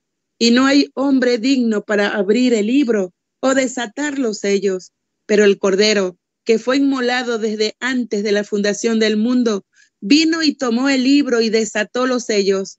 Oh Cordero de Dios, ven en esta mañana, ábrenos el libro y permítenos mirar adentro contigo, Señor, y ver qué debemos de hacer para estar preparados para esta hora. Bendice a cada iglesia, bendice las reuniones venideras, cada una de ellas, y nuestra pequeña reunión para unirnos con las que vienen.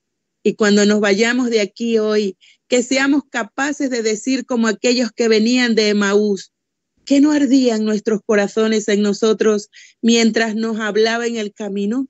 Concédelo, Padre, te lo pedimos en el nombre de Jesús. Amén. Párrafo 20. Ahora, a ustedes que quisieran abrir, por lo general, a uno le gusta leer con el ministro cuando él va a leer para saber de dónde él está hablando. Si ustedes tienen sus Biblias y quisieran abrir en San Mateo el capítulo 4, y ahora voy a dar mi texto antes que hable.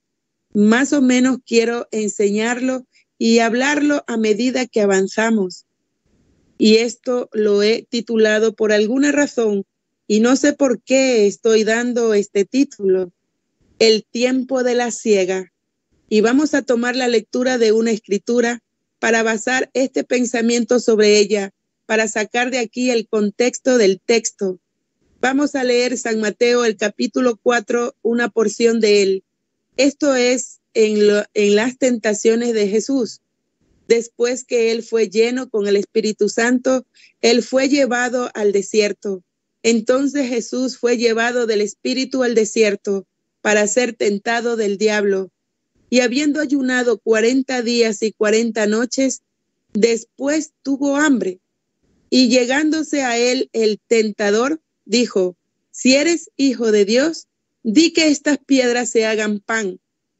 Mas él respondiendo dijo, escrito está, no con solo el pan vivirá el hombre, mas con toda palabra que sale de la boca de Dios. Entonces el diablo le pasa a la santa ciudad y le pone sobre las almenas del templo y le dice, si eres hijo de Dios, échate abajo, que escrito está, a sus ángeles mandará por ti y te alzarán en las manos para que nunca tropieces con tu pie en piedra. Jesús le dijo, escrito está además, no tentarás al Señor tu Dios. Otra vez le pasa el diablo a un monte muy alto y le muestra todos los reinos del mundo y su gloria y dícele, todo esto te daré si postrado me adorares. Jesús le dice, vete, Satanás, que escrito está, al Señor tu Dios adorarás y a Él solo servirás. Amén. Dios le bendiga, mis hermanos. Amén, hermana Reina, Dios le bendiga. Recordando una vez más, estamos lecturando un nuevo mensaje en esta tarde titulado El tiempo de la ciega, servicio realizado en Fines, Arizona, Estados Unidos, del día 12 de diciembre del año 1964. Seguimos compartiendo esta hermosa lectura de sus mensajes de nuestro profeta Elías. Párrafo 21 dice, quiero regresar solo un poquito al versículo cuarto otra vez. Mas él respondiendo, dijo, escrito está, no con solo el pan vivirá el hombre, mas con toda palabra que sale de la boca de Dios. Ahora, como un tema, a mí me gustaría tomar eso, más con toda palabra que sale de la boca de Dios. Ahora, guarden eso en mente mientras hablamos.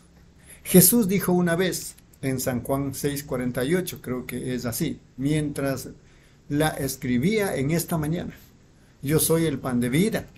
Esto fue en la fiesta de la Pascua, cuando los judíos estaban, estaban comiendo sus panes en conmemoración del maná que cayó en el desierto. Y, y ellos estaban bebiendo de una fuente allí que representaba la roca que estaba en el desierto. Y ellos estaban teniendo un gran tiempo. Y Jesús clamó en sus medios, y él dijo, Yo soy el pan de vida. Vuestros padres comieron maná en el desierto por cuarenta años y cada uno de ellos está muerto. Pero yo soy ese pan que descendió de Dios del cielo. Si un hombre come, no morirá. Y de la roca, él dijo, yo soy esa roca que estaba en el desierto. Yo soy esa roca de la que vuestros padres bebieron. ¿Cómo? Ellos dijeron, tú eres un hombre que aún no tiene 50 años y dices que tú has visto a Abraham, ahora nosotros conocemos que tú tienes demonio y estás loco. Y Jesús dijo, antes que Abraham fuera, yo soy, ven, yo soy. Era la columna de fuego que estaba en la zarza, que le habló a Moisés. Y si ustedes arreglarían eso en sus nombres y pronombres, no, yo era, yo seré. Yo soy. Es tiempo presente, todo el tiempo. Párrafo 22. Pensando de esto, de él diciendo, el mismo ahora, que yo soy ese pan de vida. Ahora, ¿cómo este hombre podría ser el pan de vida? Eso es lo que nos preguntamos. Mi cuerpo es pan. Él dijo, ¿y ahora cómo podría este hombre ser pan? Eso es algo extraño, pero no se confunda al respecto. La gente de su tiempo se confundió al respecto. Ellos no entendían cómo era que este hombre de hecho pudiera ser pan él mismo. También en San Juan 1 nos dice de esa manera que en el principio era el verbo y el verbo era con Dios y el verbo era Dios. Y el verbo se hizo carne y habitó entre nosotros Así que la palabra llegó a ser el pan. La palabra y el pan aquí tendrían que ser lo mismo, porque Jesús es la palabra y Él es el pan. Ahora, ¿cómo podía Él ser pan y palabra? Toda sería confusión para la gente carnal.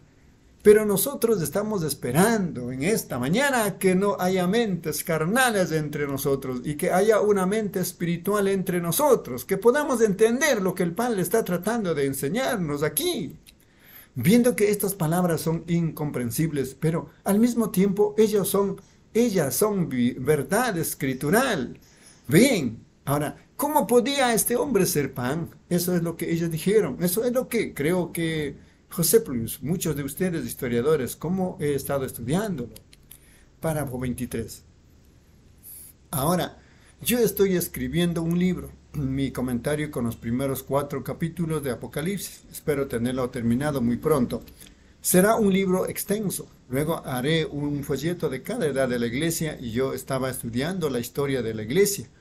Yo lo tenía en mi mente. Yo creo que fue José Plus que uno de los antiguos escritores de todas maneras, que dijo que este Jesús de Nazaret, quien salió sanando a los enfermos, dijo, sus discípulos lo desenterraron y comieron su cuerpo. Ven, ellos estaban tomando la comunión. Ellos pensaron que ellos desenterraron su cuerpo y se estaban comiendo su cuerpo lo cual nosotros comemos la comunión o tomamos la comunión en forma de símbolo de su cuerpo, porque Él era la palabra. Ahora, ven, esto es incomprensible. Y al mismo tiempo hay escrituras. Y Jesús dijo, toda escritura debe ser cumplida. Ven, ahora, nosotros siempre queremos quitar de nuestras mentes todo lo contrario a esa escritura. Nunca nunca en ninguna ocasión de esa escritura por nada, ni una sola palabra de ella. Quédese exactamente con esa escritura. Párrafo 24. Ahora, Dios tiene que juzgar a la gente algún día. Y si Él va a juzgar a la gente por una iglesia, ¿cuál será la iglesia? Ellos dicen la iglesia católica. Bueno, entonces, ¿cuál iglesia católica? Ven, porque ellos están en diferencias uno con el otro, peor de lo que están con nosotros. Ven, ellos difieren uno, todos ellos son las diferentes formas de ellos, la romana y la ortodoxa y la yufanita y oh, muchas diferentes tribus de ellos. Y ellos de seguro están en pleito cerrado uno con el otro. Así que, ¿cuál de esas iglesias católicas si él lo hace por la iglesia protestante, ¿cuál iglesia protestante? Cada una difiere de la otra.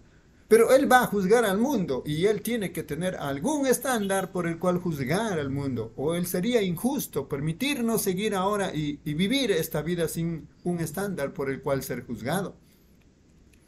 ¿Quién estaría bien? ¿En dónde pudiera uno determinar lo que sería correcto? Tiene que haber un estándar. 25.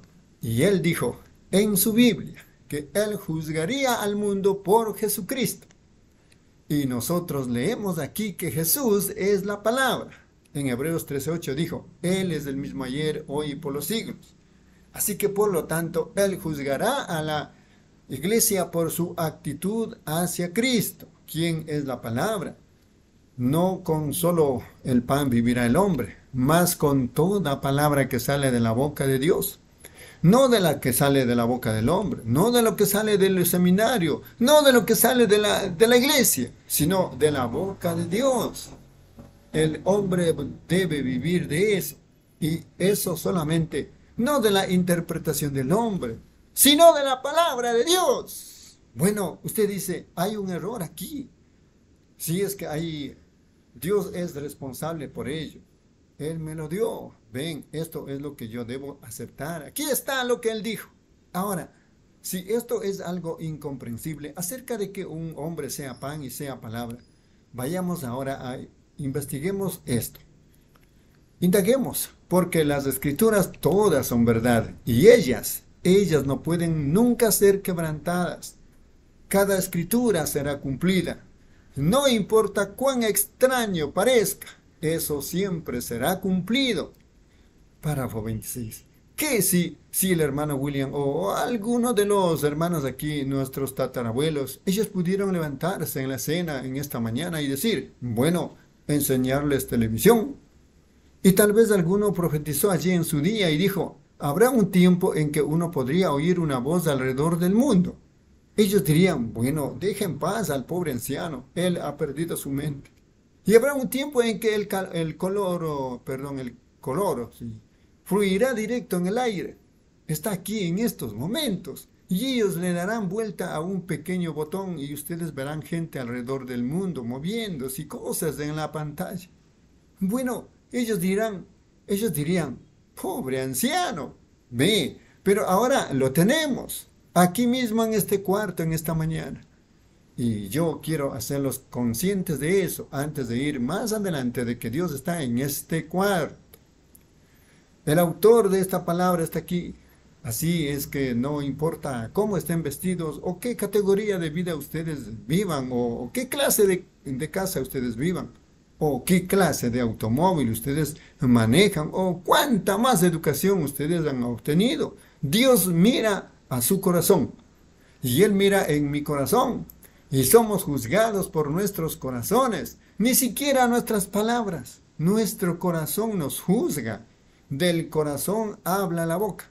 Si no es así, es hipocresía. Bravo 27. Ahora, en este cuarto, en estos momentos están pasando seres humanos, formas de seres humanos, pasando por aquí de alrededor del mundo. Voces cantando están en este cuarto ahora mismo. Pero ven ustedes, uno está limitado en sus sentidos o en un cierto porcentaje de vista. Pero ahora ustedes pueden tomar el cristal o el tubo o lo que sea que está dentro de la televisión y lo prenden.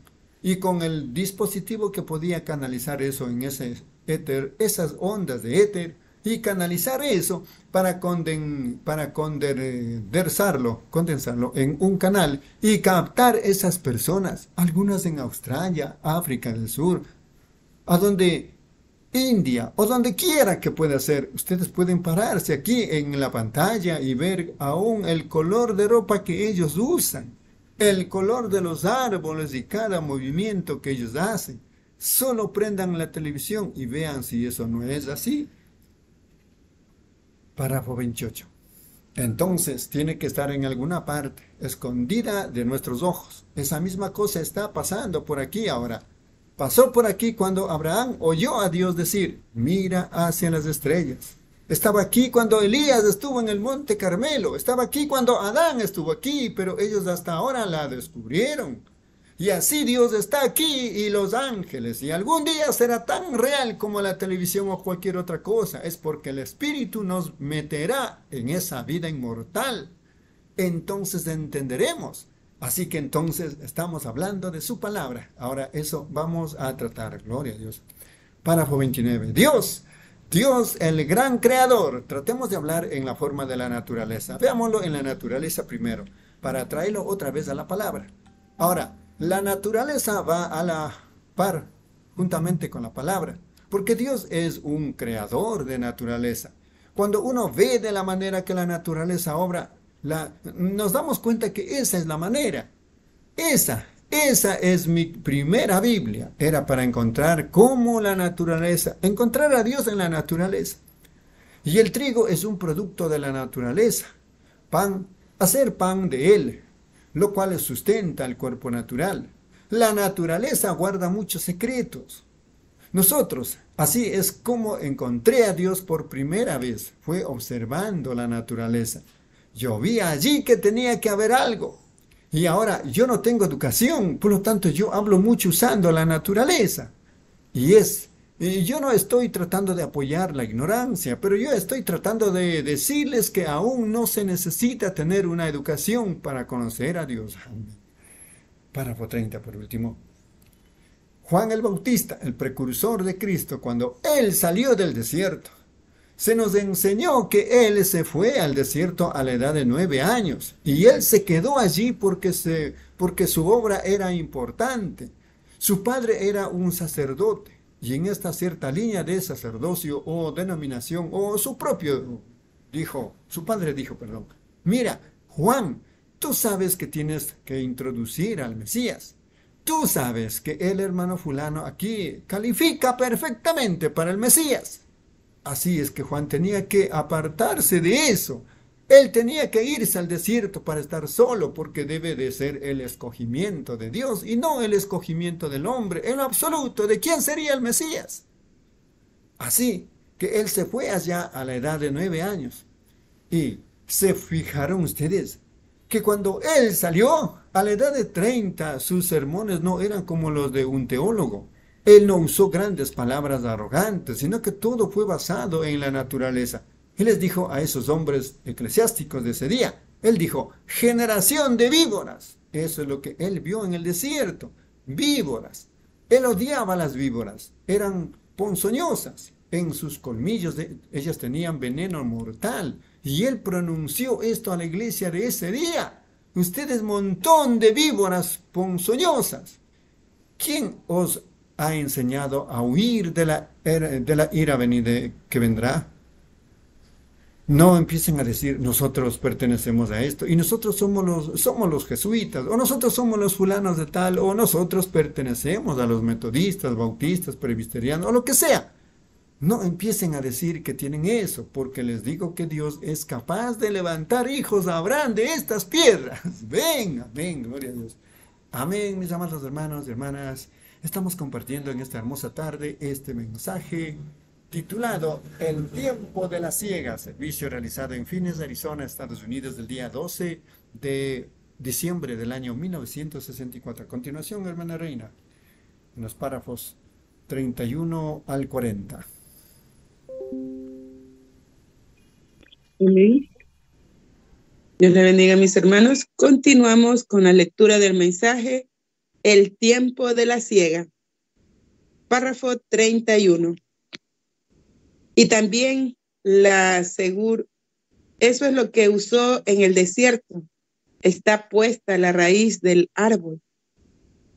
Y todo árbol que no da buen fruto, fruto, es cortado y echado en el fuego. ¿Ven?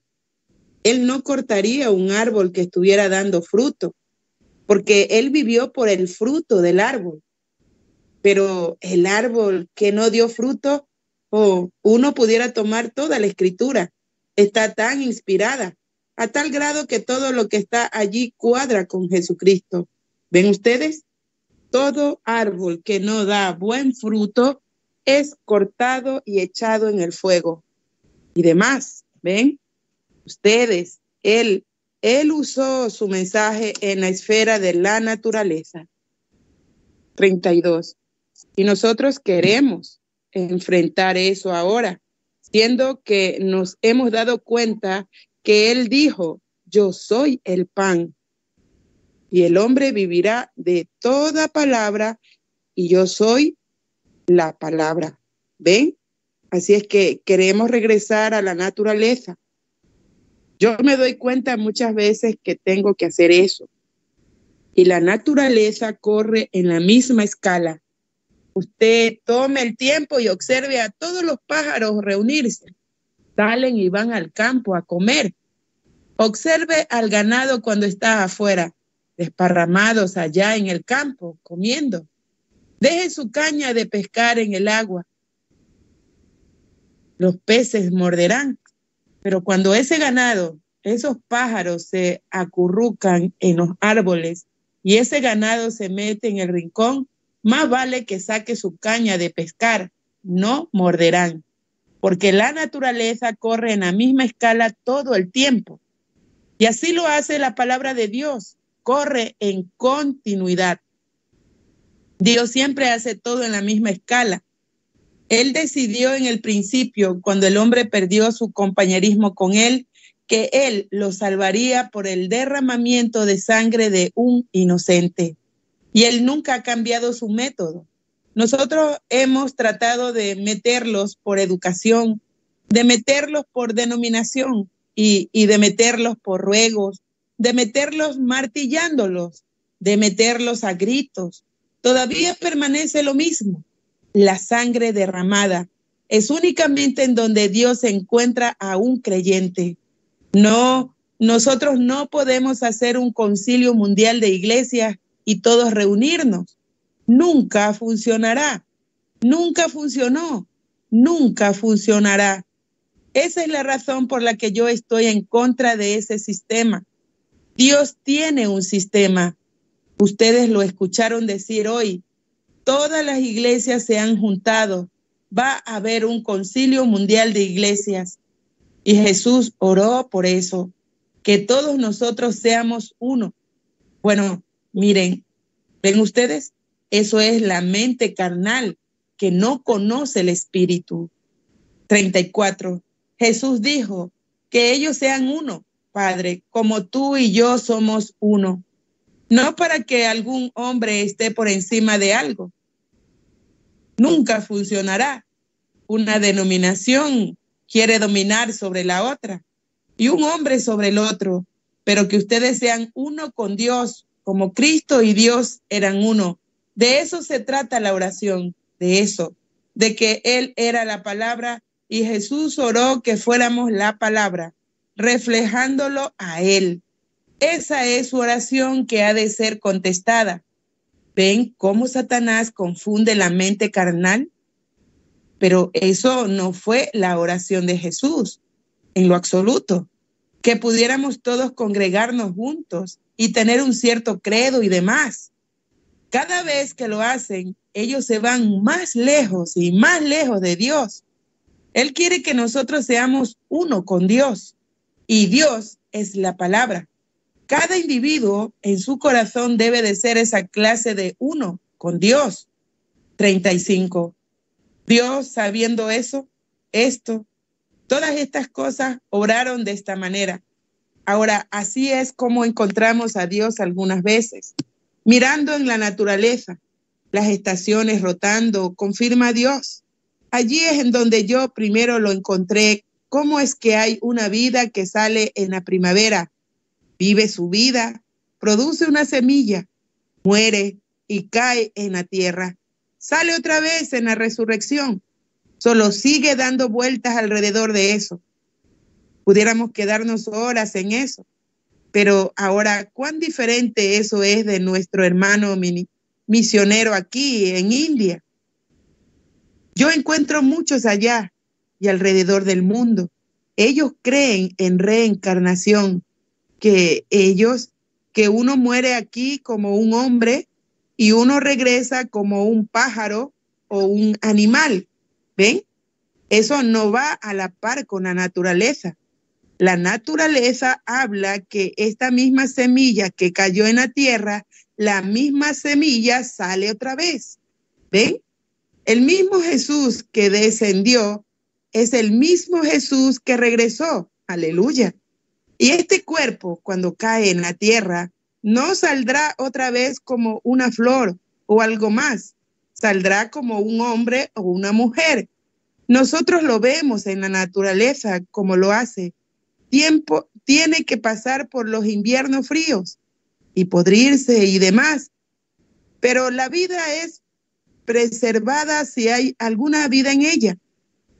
Pero si allí, si esa semilla no ha sido germinada, nunca se levantará otra vez. No puede levantarse. No hay nada en ella para levantarla. Y si solamente llegamos a ser un cristiano nominal, hay dos iglesias en el mundo, la iglesia natural y la iglesia espiritual. Todos ellos son llamados cristianos, pero la iglesia natural no puede levantarse. Ella está levantándose ahora en el concilio mundial, concilio de iglesias, pero la cristiana se levanta a encontrar a Cristo porque es una novia para ir a encontrarlo. Hay una diferencia en ellos. La naturaleza guarda estos secretos a nosotros y nosotros podemos verlos mientras los observamos.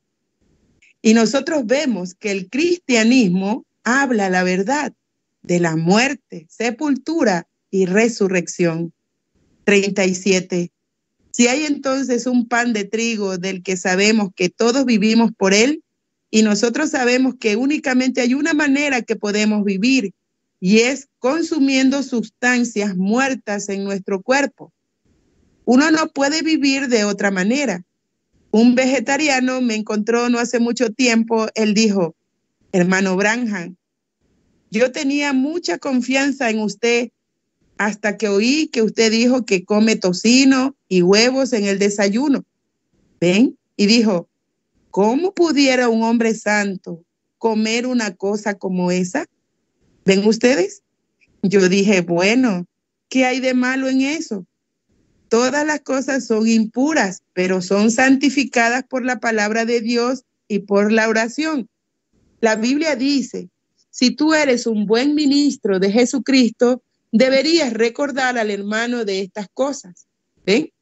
Todas las cosas son santificadas. Nada hay que desechar, tomándose con hacimiento de gracias. Primera de Timoteo 3. Ahora, nos damos cuenta que eso es verdad. Así que yo dije, cuando menos, yo dije, bueno, ¿no tiene usted que comer algo muerto también? Oh, no, señor. Yo dije, si usted vive, usted tiene que vivir por sustancia muerta. Si usted come pan, el trigo murió. Si usted come verduras, ellas murieron. Lo que haya comido, aún la leche, usted bebe la bacteria. Usted tiene que, usted solamente puede vivir por sustancias muertas. 38. Y luego si algo tuvo que morir para que pudiéramos vivir físicamente, ¿cuánto mucho más algo tuvo que morir para que pudiéramos vivir eternamente? Se requiere muerte para hacerlo. Pan. Viendo que Jesús dijo, yo soy el pan, y hay un pan de trigo, y él no fue esa clase de pan. Así es que debe de haber dos clases de vidas que son sustentadas por pan. Eso nos llevaría a eso. No puede haber. Él no es. Él no era trigo y él no era palabra. Él era carne. Así es que debe de haber dos clases de vida. Sabemos que el trigo muere para que nosotros vivamos físicamente. Como dije, Jesús, el pan palabra, murió para que pudiéramos vivir eternamente eternamente, perdón. Él era el pan palabra. Ahora fíjense, guarden eso en mente. Ahora, para probar que las palabras de Jesús eran verdad, veamos en esto, en la naturaleza, cómo sigue su curso. Ahora vayamos a la escritura para darnos cuenta. Retrocedamos en la escritura hasta que lleguemos a nuestro texto principal, en el jardín. Dios les dio a su primera familia la palabra de Dios para que vivieran por ella. Cada palabra de ella. La primera familia que fue puesta aquí en la tierra, se le fue dada vida eterna, mientras ellos se quedaran con la palabra de Dios. Ese fue su pan. Perdón, ese fue su plan. Yo soy Dios, él dijo. Yo no cambio. Ese es todavía su plan. Nunca ha sido su plan para credos u organización o reglas hechas por hombre, por las que el hombre vivirá, sino de toda palabra que procede de la boca de Dios. Ahora, regresándonos a Génesis, lo cual es el principio. Génesis significa el principio nos damos cuenta que Dios le dio a su familia vida eterna, mientras ellos se quedaran en esta palabra y vivieran por esta palabra. Pero cuando ellos la quebrantaron, solo un eslabón en la cadena de promesas, la muerte los tocó, lo cual fue una promesa también. Es una cadena. Usted está colgado de ella, por encima del infierno, y esa es la única cosa que lo sostendrá. Cuando el creyente llega a ser un creyente manufacturado y vive en una palabra que es contraria a esta palabra, él corta su compañerismo con Dios, un eslabón quebrado. Y recuerde, su fe en esta palabra es como una cadena. Una cadena es tan fuerte como su eslabón más débil correcto. Es lo más fuerte allí. porque eso es todo lo que sostendrá. Y si hay algo en la palabra que lo está confundiendo, algo que usted ha escuchado diferente, pero ellos dijeron, ustedes, oh, eso fue para los apóstoles. Y esas cosas fueron para aquellos días pasados. Cuando la escritura dice que Jesucristo es el mismo ayer, hoy y por los siglos, no permita que eso sea una debilidad. Fortifíquela y aférrese a ella y envuelva su vida en ella, porque esa es la única cosa que lo llevará por encima de las llamas del infierno. ¿Correcto? 40.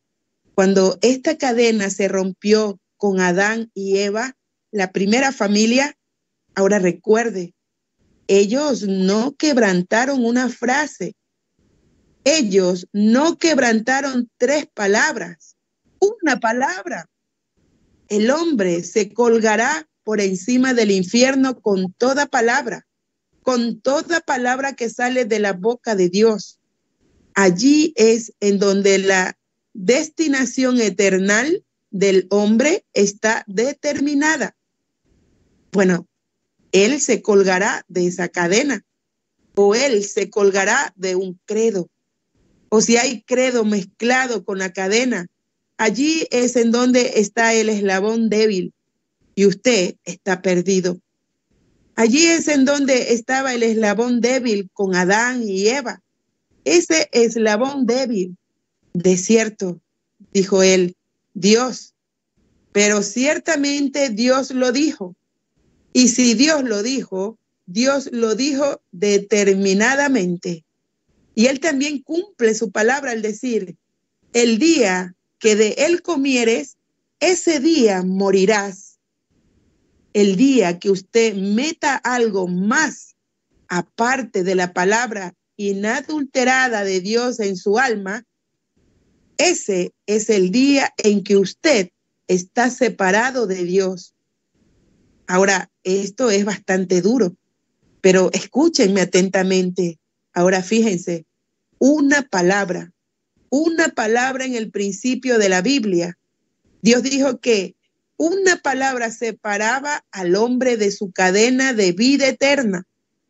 Eso es como tomar a un hombre y usted estar agarrado de sus pies. Él tiene sus manos en el cielo y usted lo corta en dos se le desprende un dedo o lo que sea en lo que usted está colgado. Usted está colgando en la mera parte de abajo. Y, y si usted rompe esa cadena en cualquier parte, usted está perdido. Ahora, tenga eso en cuenta. Amén. Dios le bendiga, mis hermanos. Amén, hermana Reina. Dios le bendiga. Continuamos compartiendo en esta tarde y noche este glorioso mensaje titulado El tiempo de las ciegas, servicio realizado en Fines de Arizona, Estados Unidos, del día 12 de diciembre del año 1964. En los párrafos 41 dice, recuerde, la Biblia dice, en la boca de tres testigos conste todo negocio. Tocaremos eso en unos cuantos minutos. En, los tres, en las tres tentaciones de Jesús, las tres tentaciones de ministros Hoy, ¿en dónde ellos caen? Tres tentaciones de la iglesia. ¿Y en dónde ellos caen? Las tres tentaciones de una organización, ¿en dónde caen? Y las tres tentaciones de los individuos, ¿y en dónde ellos caen? Ahora, todo va en tres, como justificación, santificación, bautismo del Espíritu Santo. Padre, Hijo, Espíritu Santo. Todo es perfeccionado en tres. Párrafo 42. Ahora, Fíjense, Dios en el principio, la primera cosa que Él les dio a sus hijos para que vivieran por ella fue su palabra. Ahora, veamos que eso es verdad. Entonces, en la mitad de la Biblia oímos a Jesús venir y decir que no con solo el pan vivirá el hombre, más con toda palabra que sale de la boca de Dios. Y luego en Apocalipsis 22, 18, Jesús mismo hablando otra vez dijo, yo testifico de estas cosas. Si alguno añadiere una palabra a esto o quitare una palabra de este libro, su parte será quitada del libro de la vida. Ahora, ven, no es nuestro buen vivir, Eso es algo que va con ello. No es nuestra, nuestra lealtad eclesiástica. Eso va con ello. Pero la cosa principal es quedarse con esa palabra. No coman nada más que esa palabra. Quédense con ella. Él es esa palabra. Ahora queremos observar más de cerca en estos momentos. Párrafo 43.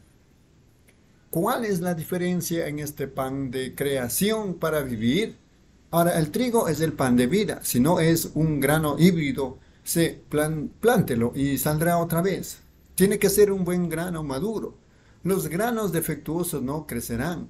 Todos sabemos eso. El hermano Shotman, sentado aquí, un cultivador de trigo de Canadá, sabe que uno no pone granos defectuosos en el terreno y esperar una cosecha de ello. Pero el insecto o la, o la bacteria o lo que sea en el grano se la come. Se come la vida de él. Primero, ¿sabían ustedes que los mismos gusanos que los destruirán, que comerán sus cuerpos, ya están allí en ellos? Job dijo, aunque el gusano de mi piel destruyera este cuerpo, aunque lo metan en un ataúd o le sellen sin aire perfectamente cerrado, aún así los gusanos que están en usted se lo comerán. Usted coja comida y harina y cosas y guárdelas por un ratito. Forma animalitos aún sellados. ¿Qué es? Ese gusano está allí adentro para empezar. Está allí para empezar. 44. Ahora, este grano debe de ser un buen grano debe de estar libre de faltas, fallas y demás en él. Debe de ser un grano original, no puede ser un grano, un grano híbrido, porque como sabe, cuando sale usted lo planta otra vez y su, su trigo se acabó, porque un grano híbrido no crece otra vez, no puede crecer otra vez. Usted quita la vida de él cuando usted lo hibrida. Y eso es lo que le sucedió a las iglesias ellas han estado hibridándose con el mundo. Y esa es la razón de que con cada avivamiento que viene, usted no puede tener otro avivamiento que lo siga. Cada organización que se ha organizado muere allí mismo y nunca se levanta otra vez, porque organiza el mundo dentro de sus sistemas, por lo tanto nunca se levantó. Jamás ha habido en la historia que demuestre que alguna iglesia que se haya organizado, se haya levantado otra vez. Ella murió allí mismo porque usted la hibridó. Párrafo 45. No ponga a un obispo sobre ella, Deje al Espíritu Santo sobre ella. Ven, el Espíritu Santo fue enviado para mantenerla libre de las hierbas y cosas, no lo que el obispo piensa o el supervisor o demás. Se necesita el Espíritu Santo para guardar esa iglesia en su condición. Él era esa palabra perfecta, como lo veremos. Adán tuvo su opción, la palabra y vivir o no creer una palabra y morir. Nosotros tenemos la misma opción porque así tiene que ser. Si Dios puso a Adán en la palabra y la palabra solamente, luego Él nos pone en un credo o cualquier clase de credo, entonces Dios es injusto en su juicio, no es propio de su santidad o en su soberanía.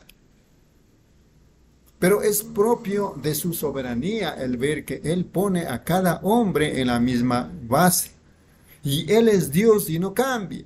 Lo que Dios hace primero, Él lo sigue haciendo eternamente. Él nunca cambia su, su programa. La única cosa es que Él lo magnifica, pero Él nunca lo cambia. La misma cosa continúa avanzando. Ahora, Adán tuvo una opción. Y si Él se agarra de la palabra, Él vivía. Si Él no se agarraba de la palabra, Él moría. Y nosotros tenemos la misma cosa. Nos quedamos con la palabra, vivimos. No con solo el pan vivirá el hombre, más con toda palabra. Porque si no morimos, morimos espiritualmente. O todavía podemos hacer ruido, seguro, movernos y gritar y hacer alboroto, pero eso, eso no, eso no es vivir. Eso no es vivir. Yo soy un misionero. Yo he escuchado a los paganos moverse y gritar más que nosotros y profesar conocer dioses y cosas como esas. Ellos no están viviendo, Ellos están muertos mientras viven. La Biblia dijo así. Ahora nos damos cuenta que esta opción es dada a nosotros. Pero Eva se comprometió con una palabra de Satanás y entonces murió. Y si en el principio, lo cual Dios en su gracia y misericordia podía haber evitado todos los sufrimientos que hemos ocasionado, Todas estas muertes de pequeños bebés y todo, y las guerras y conmociones y crucifixiones y cosas que hemos tenido, si Él pudiera haberlo evitado, la soberanía de su palabra le hubiera permitido a Él evitarlo. Él hubiera sido injusto entonces si lo hubiera evitado. ¿Lo captan? Él no puede evitarlo. Él nunca lo evitó con Adán, para empezar. Y Él no lo evitará en usted ni en mí, para empezar. Debemos de venir a esa cosa, la palabra únicamente. Toda palabra de hombre sea mentira y la mía sea verdadera. Él dijo, párrafo 47. Ahora nosotros solamente estamos mirando en el día en que estamos viviendo el tiempo de la ciega. Entonces Dios, después que Adán había caído, probado por la palabra y cayó, Dios continuó en su creación para tratar de encontrar un hombre que viviera toda palabra. Ahora miren, él trató de encontrar eso, que es vivir la palabra para su edad. Ahora, ustedes ven, Dios dispersó su palabra porque Él podía. Él es, Él es infinito y Él es, es omnipresente, omnisciente. Por lo tanto, Él sabe todas las cosas. Él no puede estar presente en donde quiera, siendo omnisciente. Sabe todas las cosas, entonces Él puede estar presente en donde quiera porque esa es la manera que Él nos predestinó por previo conocimiento, no porque Él deseó que esta persona debería ser salva y esta perderse. Pero Él sabía quién sería salvo y quién se perdería. Bien, por lo tanto, por su conocimiento previo, Él puede predestinar. Y Él hace que todo obre sobre su, obre para su gloria. Amén. Eso es lo que sus atributos están haciendo, desplegando su gloria un vaso de honra y otro de deshonra, pero es Dios el que lo hace. No es del que quiere ni del que corre, sino del que Dios tiene misericordia. Ven. Párrafo 48. Nadie viene a mí. Jesús dijo, a menos que mi Padre lo llamare, y todo lo que el Padre me ha dado, tiempo pasado, vendrá a mí, a la palabra ¿Cómo pueden venir a menos que ellos fueran, sean todos? Ellos fueron preordenados a venir. Y a todos los que le recibieron les dio potestad de ser hechos hijos de Dios. Bien, porque sus nombres estaban en el libro. Él vino a redimir lo que estaba en el libro. En Apocalipsis nos damos cuenta que cuando los sellos fueron abiertos, había un libro. Y el que se sentó en el trono, Dios, lo tenía en su diestra. Y allí no había nada, nadie en el cielo o en la tierra o en cualquier parte que fue digno de venir y tomar el libro o aún siquiera mirarlo. Juan lloró con gran, porque todo el libro de redención estaba allí. Fue en la reunión la otra noche, ese hermanito y hermanita de la Asamblea de Dios cantaron esa alabanza. Me pregunto si Juan me vio cuando él vio a todas las naciones reunidas. ¿Me vio? Seguro que sí, sí, su nombre estaba en ese libro. Y cuando el nombre de Juan estaba allí también, y él lloró porque no había nadie que podía tocarlo. Y entonces uno de los ancianos vino y dijo, no llores, Juan, porque el león de la tribu de Judá ha prevalecido. Y Juan estaba buscando alrededor para encontrar un, un león. Y de por atrás de las cortinas viene un cordero un cordero que había sido inmolado desde antes de la fundación del mundo. Entonces él vio a un cordero ensangrentado salir, y él vino y tomó el libro de la diestra de él, y llamó todo lo que estaba en ese libro. Es el libro completo de redención. Y este es el libro de redención. Él redimió todo lo que estaba en ese libro, no fuera del libro todo lo que tuvo un principio tiene un fin. Pero si ustedes tienen vida eterna, ustedes nunca tuvieron principio y ustedes no pueden tener fin, porque ustedes no pueden tener fin, porque ustedes son hijos e hijas de Dios, atributos de sus pensamientos y su palabra. Usted tiene vida que no tiene fin. Si su nombre está en ese libro, el Cordero vino a redimirlo. No todos los que profesan ser cristianos, no todos los que tratan de vivir bien y piamente, sino aquellos cuyos nombres fueron escritos allí. Él redimió eso. Y eso solamente aquellos cuyos nombres estaban en el libro. Gloria a Dios. Párrafo 50.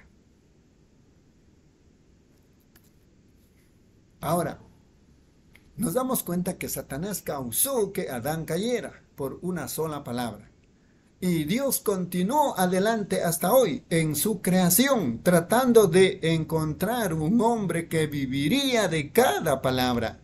Su primer hombre falló, y este hombre viviría a su sazón, la edad de la, la edad en la que él vivió. Ahora bien, hay diferentes edades que Dios profetizó desde el principio las cuales se manifestarían en el transcurso del tiempo. Esa es la razón que él podía saber el fin desde el principio, porque él sabía todas las cosas. Él hizo todas las cosas por Jesucristo y para él y para su propio beneplácito. Pongan mucha atención en estos momentos. No pierdan esto. Amén. Gloria a Dios. Amén, hermanos y hermanas. Estamos compartiendo en esta tarde noche este glorioso mensaje titulado El tiempo de la ciega, servicio realizado en Fines de Arizona, Estados Unidos, del día 12 de diciembre del año 1964. A continuación, hermana Reina, los párrafos 51 al 60.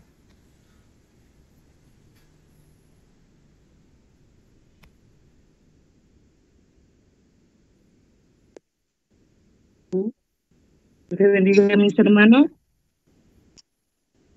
Continuamos con la lectura del mensaje El tiempo de la ciega. Párrafo 51. ¿Qué si Moisés hubiera venido trayendo el mensaje de Noé? No hubiera funcionado. No podía, no.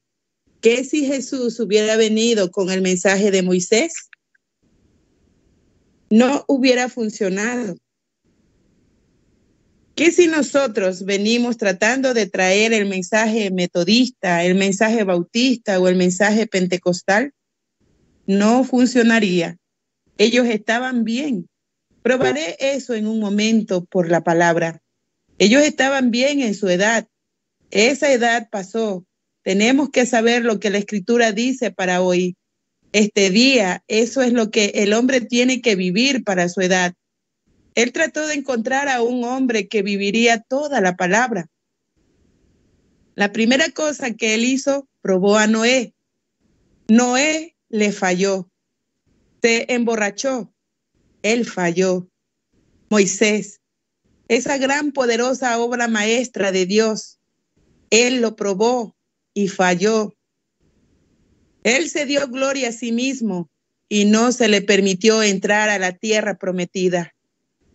Luego vino David, en quien él iba a reflejar su, el gran milenio en David. Y él iba a demostrar que sería su rey. Y Dios juró a David que levantaría, levantaría a su hijo para que se sentara en su trono. Y David era un hombre tan valeroso a tal grado que él era un hombre conforme al propio corazón de Dios. Y David iba muy bien. Él destruyó a todos los filisteos y derribó sus altares y se quedó con la palabra. Y finalmente una mujer bonita lo trastornó y él quebrantó el mandamiento. Perdió la palabra, cometió adulterio. ¿Ven? Un hombre conforme a su propio corazón. ¿Ven? Y aún así David le falló. Moisés le falló y el resto de ellos le fallaron, pero todas sus vidas eran solo reflexiones de aquel que había de venir. En el libro de Apocalipsis que yo estoy escribiendo, hay un hombre que lo está traduciendo o gramatizando, quise decir, mi gramática es muy mala. Yo tengo un, un buen erudito para gramatizarlo poner los nombres y pronombres correctos juntos, lo cual yo no sé cuál es la diferencia entre un nombre y un pronombre, pero, pero él sí sabe. y Él los está poniendo todos. Yo sé, la única cosa que yo sé es que Dios me lo da a mí y yo solamente lo escribo. ¿Ven? Y ellos, ellos tienen que ponerlo para que si va a las escuelas y cosas, ellos saben que pueden leerlo más en su nivel de entendimiento. Y entonces el escritor me dijo la gramática. El hombre que está gramatizándolo me dijo, él dijo, pero hermano Branham, encontramos que en la edad de la iglesia de Pérgamos, que Jesús dijo allí, el que venciere, yo le daré la estrella de la mañana. Yo le daré la estrella de la mañana. Él dijo, ahora, ¿cómo pudiera recibir la estrella de la mañana cuando Jesús dijo él mismo que él es la estrella de la mañana? 54, ¿ven? Todas esas simientes de Abraham son reflejadas por estrellas. Ellas son diferentes una de la otra y nosotros somos diferentes uno del otro. Y Jesús es esa estrella de la mañana, la más brillante de todas ellas. Pero lo encontramos a él en Apocalipsis 1, con siete estrellas en su mano. Él interpreta eso y dice, esas siete estrellas son los siete ángeles a las siete iglesias o las siete edades de la iglesia que están por venir. Entonces él dijo, ¿cómo pudiera ser entonces si ellos recibieron la estrella de la mañana? Yo dije, las estrellas que estaban en su mano eran únicamente la reflexión de las estrellas que provenían de la estrella de la mañana. ¿Ven? Pues el mensajero de ese día tenía la palabra y él es la palabra. Él solamente tenía la porción de ese día. Y la gente que está lista para salir de los sistemas del mundo y cosas del mundo y caminar con él, ve la reflexión de la estrella de la mañana a través del mensajero de esa edad. Y él lo hizo a través de Noé y a través de Moisés y demás. Y él reflejó el Antiguo Testamento. Finalmente todos llegaron a uno. Y así será al fin de las edades de la iglesia. Todo regresará a Jesús, pues Él es la palabra. Amén. Nosotros como cristianos solamente estamos reflejando a Él la luna solamente refleja al sol en su ausencia y el creyente solamente refleja al Hijo de Dios en ausencia del Hijo de Dios. Es la luz de la Biblia, las escrituras siendo vindicadas en nuestras vidas, la palabra que da luz en tinieblas. Ustedes son luces que son puestas sobre un monte. Eso no es el sol, es una luz. La luz solo toma el lugar del sol solo muestra una cierta cantidad de luz. Nosotros somos hijos de Dios, somos hijos e hijas de Dios, únicamente con una porción del Espíritu. Él lo tuvo sin medida. Nosotros somos una estrella que está brillando. Todos nosotros juntos formamos una luz para el mundo, pero Él es el Hijo en totalidad que refleja la luz a cada estrella. Aleluya. Yo le creo. Dios, ayuda a mi incredulidad. Finalmente, este perfecto llegó. Ahora, Él llegó para ser tentado en todo, así como nosotros lo somos. La Biblia dijo que Él lo fue. Él fue tentado como Noé. Él fue tentado como Moisés. Él fue tentado como todo el resto de ellos. Si tuviéramos tiempo para entrar en detalle y mostrarles a ustedes, pero no tenemos porque yo no quiero tomar mucho de su tiempo. Para entrar en detalle y mostrarles que él fue tentado en la misma manera. Satanás nunca cambia sus tácticas, tampoco Dios lo hace, solo cambia edades. Pero lo que Satanás entró allá en el principio, en la primera familia de Dios en la tierra, Aquí está, hermano, hermana. No falle en recibir esto. ¿Cómo fue que Satanás entró en la primera familia? Él no podía romperla de ninguna otra manera más que rompiendo esa palabra, porque ellos estaban fortificados detrás de esa palabra. Si él solamente pudiera lograr hacerle un hueco, así es como él ha vencido a cada iglesia en cada edad. Venció a cada creyente solo sacando esa porción. Bueno, yo yo creo que la Biblia está bien, pero yo no creo eso oh, allí va, qué lástima, pero allí se fue. Cada palabra que sale de la boca de Dios. Ahora, enfoquemos esto atentamente en estos momentos. Ahora, finalmente, Él, este que llegaría y tendría que ser tentado exactamente como el resto de ellos fueron tentados.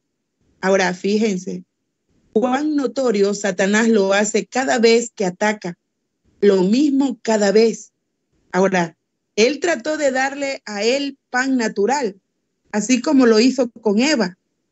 Si tú comieres esto, tomares, tomares esto o algo así.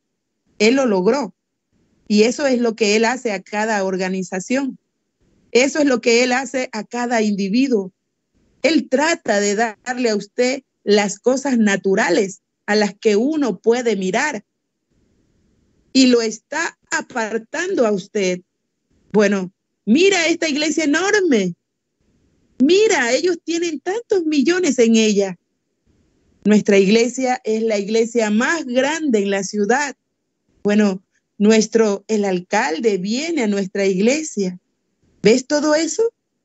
Nuestro pastor tiene un título de DD, LD, PhD. Eso bueno, eso bueno, él ha de ser un hombre inteligente. Un sacerdote católico puede venir y superarlo en cualquier momento con sus títulos. Él tiene 60 y algo de libros de los que él tiene que saber tanto como usted sabe la Biblia para recibir su título de sacerdote. Así que no trate de comparar educaciones. 58. Eso es igual como el mundo, siempre tratando de comparar. No se compare con las cosas del mundo, no se compare con iglesia, compárese con la Biblia. Amén. Eso es lo que estamos haciendo hoy. Ese es el problema con nosotros, iglesias pentecostales. Ese es el problema con nuestros cuartetos y alabanzas y demás, como lo tenemos. Estamos tratando de actuar como Hollywood, Hollywood brilla, el Evangelio resplandece. Hay mucha diferencia, un brillo y un resplandor. ¿Ven? Hollywood brilla con ropas y riquis y riquetas y ricochetas, pero Dios humildemente resplandece en la humildad del creyente. No importa cuán ignorante él es, él resplandece en humildad, no brilla en Hollywood. Fíjense, 59. Él intentó su antigua táctica en Jesús. La misma cosa Él le hizo a Moisés. La misma cosa Él le hizo al resto de ellos. Él lo intentó. Él la intentará en ustedes para hacerlos aceptar alguna cosa grande que se mire brillante. Me recuerda cuando solía cazar mapaches. Papá, mi papá fumaba tabaco yo no sé si todos ustedes llegaron a conocer uno de esos antiguos herretes que venían en un rollo de tabaco y escogía un tronco cerca del arroyo en donde un mapache había estado corriendo y luego que hacía un hoyo allí, metía este herrete de tabaco allí y luego clavaba algunos clavos en ángulos de esta manera. Y el mapache siempre está tratando de coger algo brillante. Y cuando la luna salía y él corría por allí, él miraba allí y metía su mano allí para agarrarlo y no lo soltaba. Él es como algunos miembros de iglesia que aunque ellos saben que están atrapados, no la sueltan. Si lo hago, ellos me echarán fuera de la organización. Eso es solo su muerte. Eso es todo. Muy bien, fíjense, allí se aferra él a ella. Él no la suelta párrafo 60. Ahora, Satanás trató su misma táctica con Jesús que trató con el resto de ellos. Él trató de hacerlo comer algo además de la palabra pan prometida, porque Jesús dijo, escrito está, no tan solo de pan vivirá el hombre. ¿Ven? Él trató de hacerlo que lo obedeciera, aunque se miraba muy bueno, se miraba como si él mismo podía alimentarse y él hubiera podido hacerlo. Usted tiene, usted puede actuar de la manera que usted quiera también.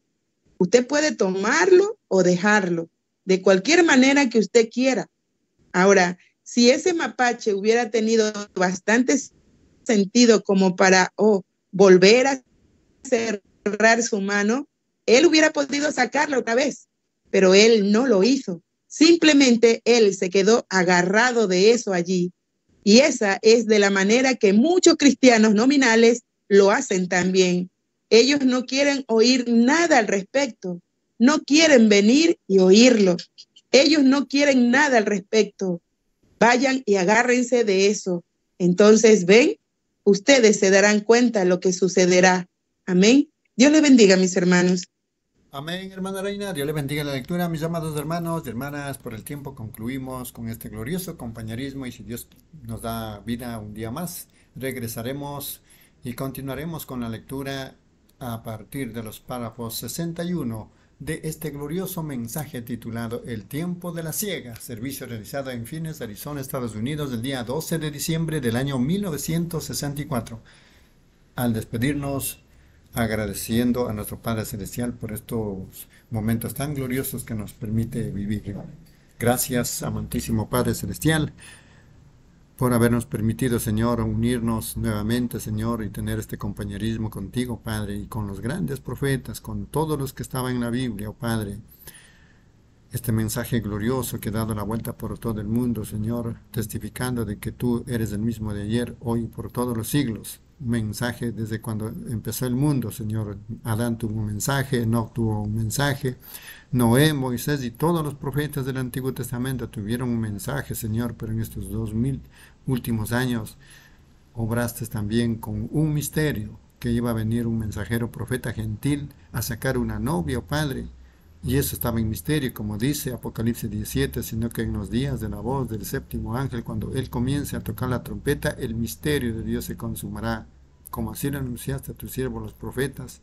Gracias, Padre amado, al permitirnos, Señor, comer ese alimento glorioso, alimento de águila, Señor, comida especial, Padre, muchas gracias. Si hay un día más, Señor, volveremos con mucho gozo, con alegría, porque esta palabra, Señor, nos lleva a vida eterna nos pone, Señor, con mano fuerte, agarrarnos de, tu brazo poderosa, Señor, en nombre del Señor Jesucristo. Amén, mis amados hermanos y hermanas. El Señor Jesucristo los bendiga ricamente.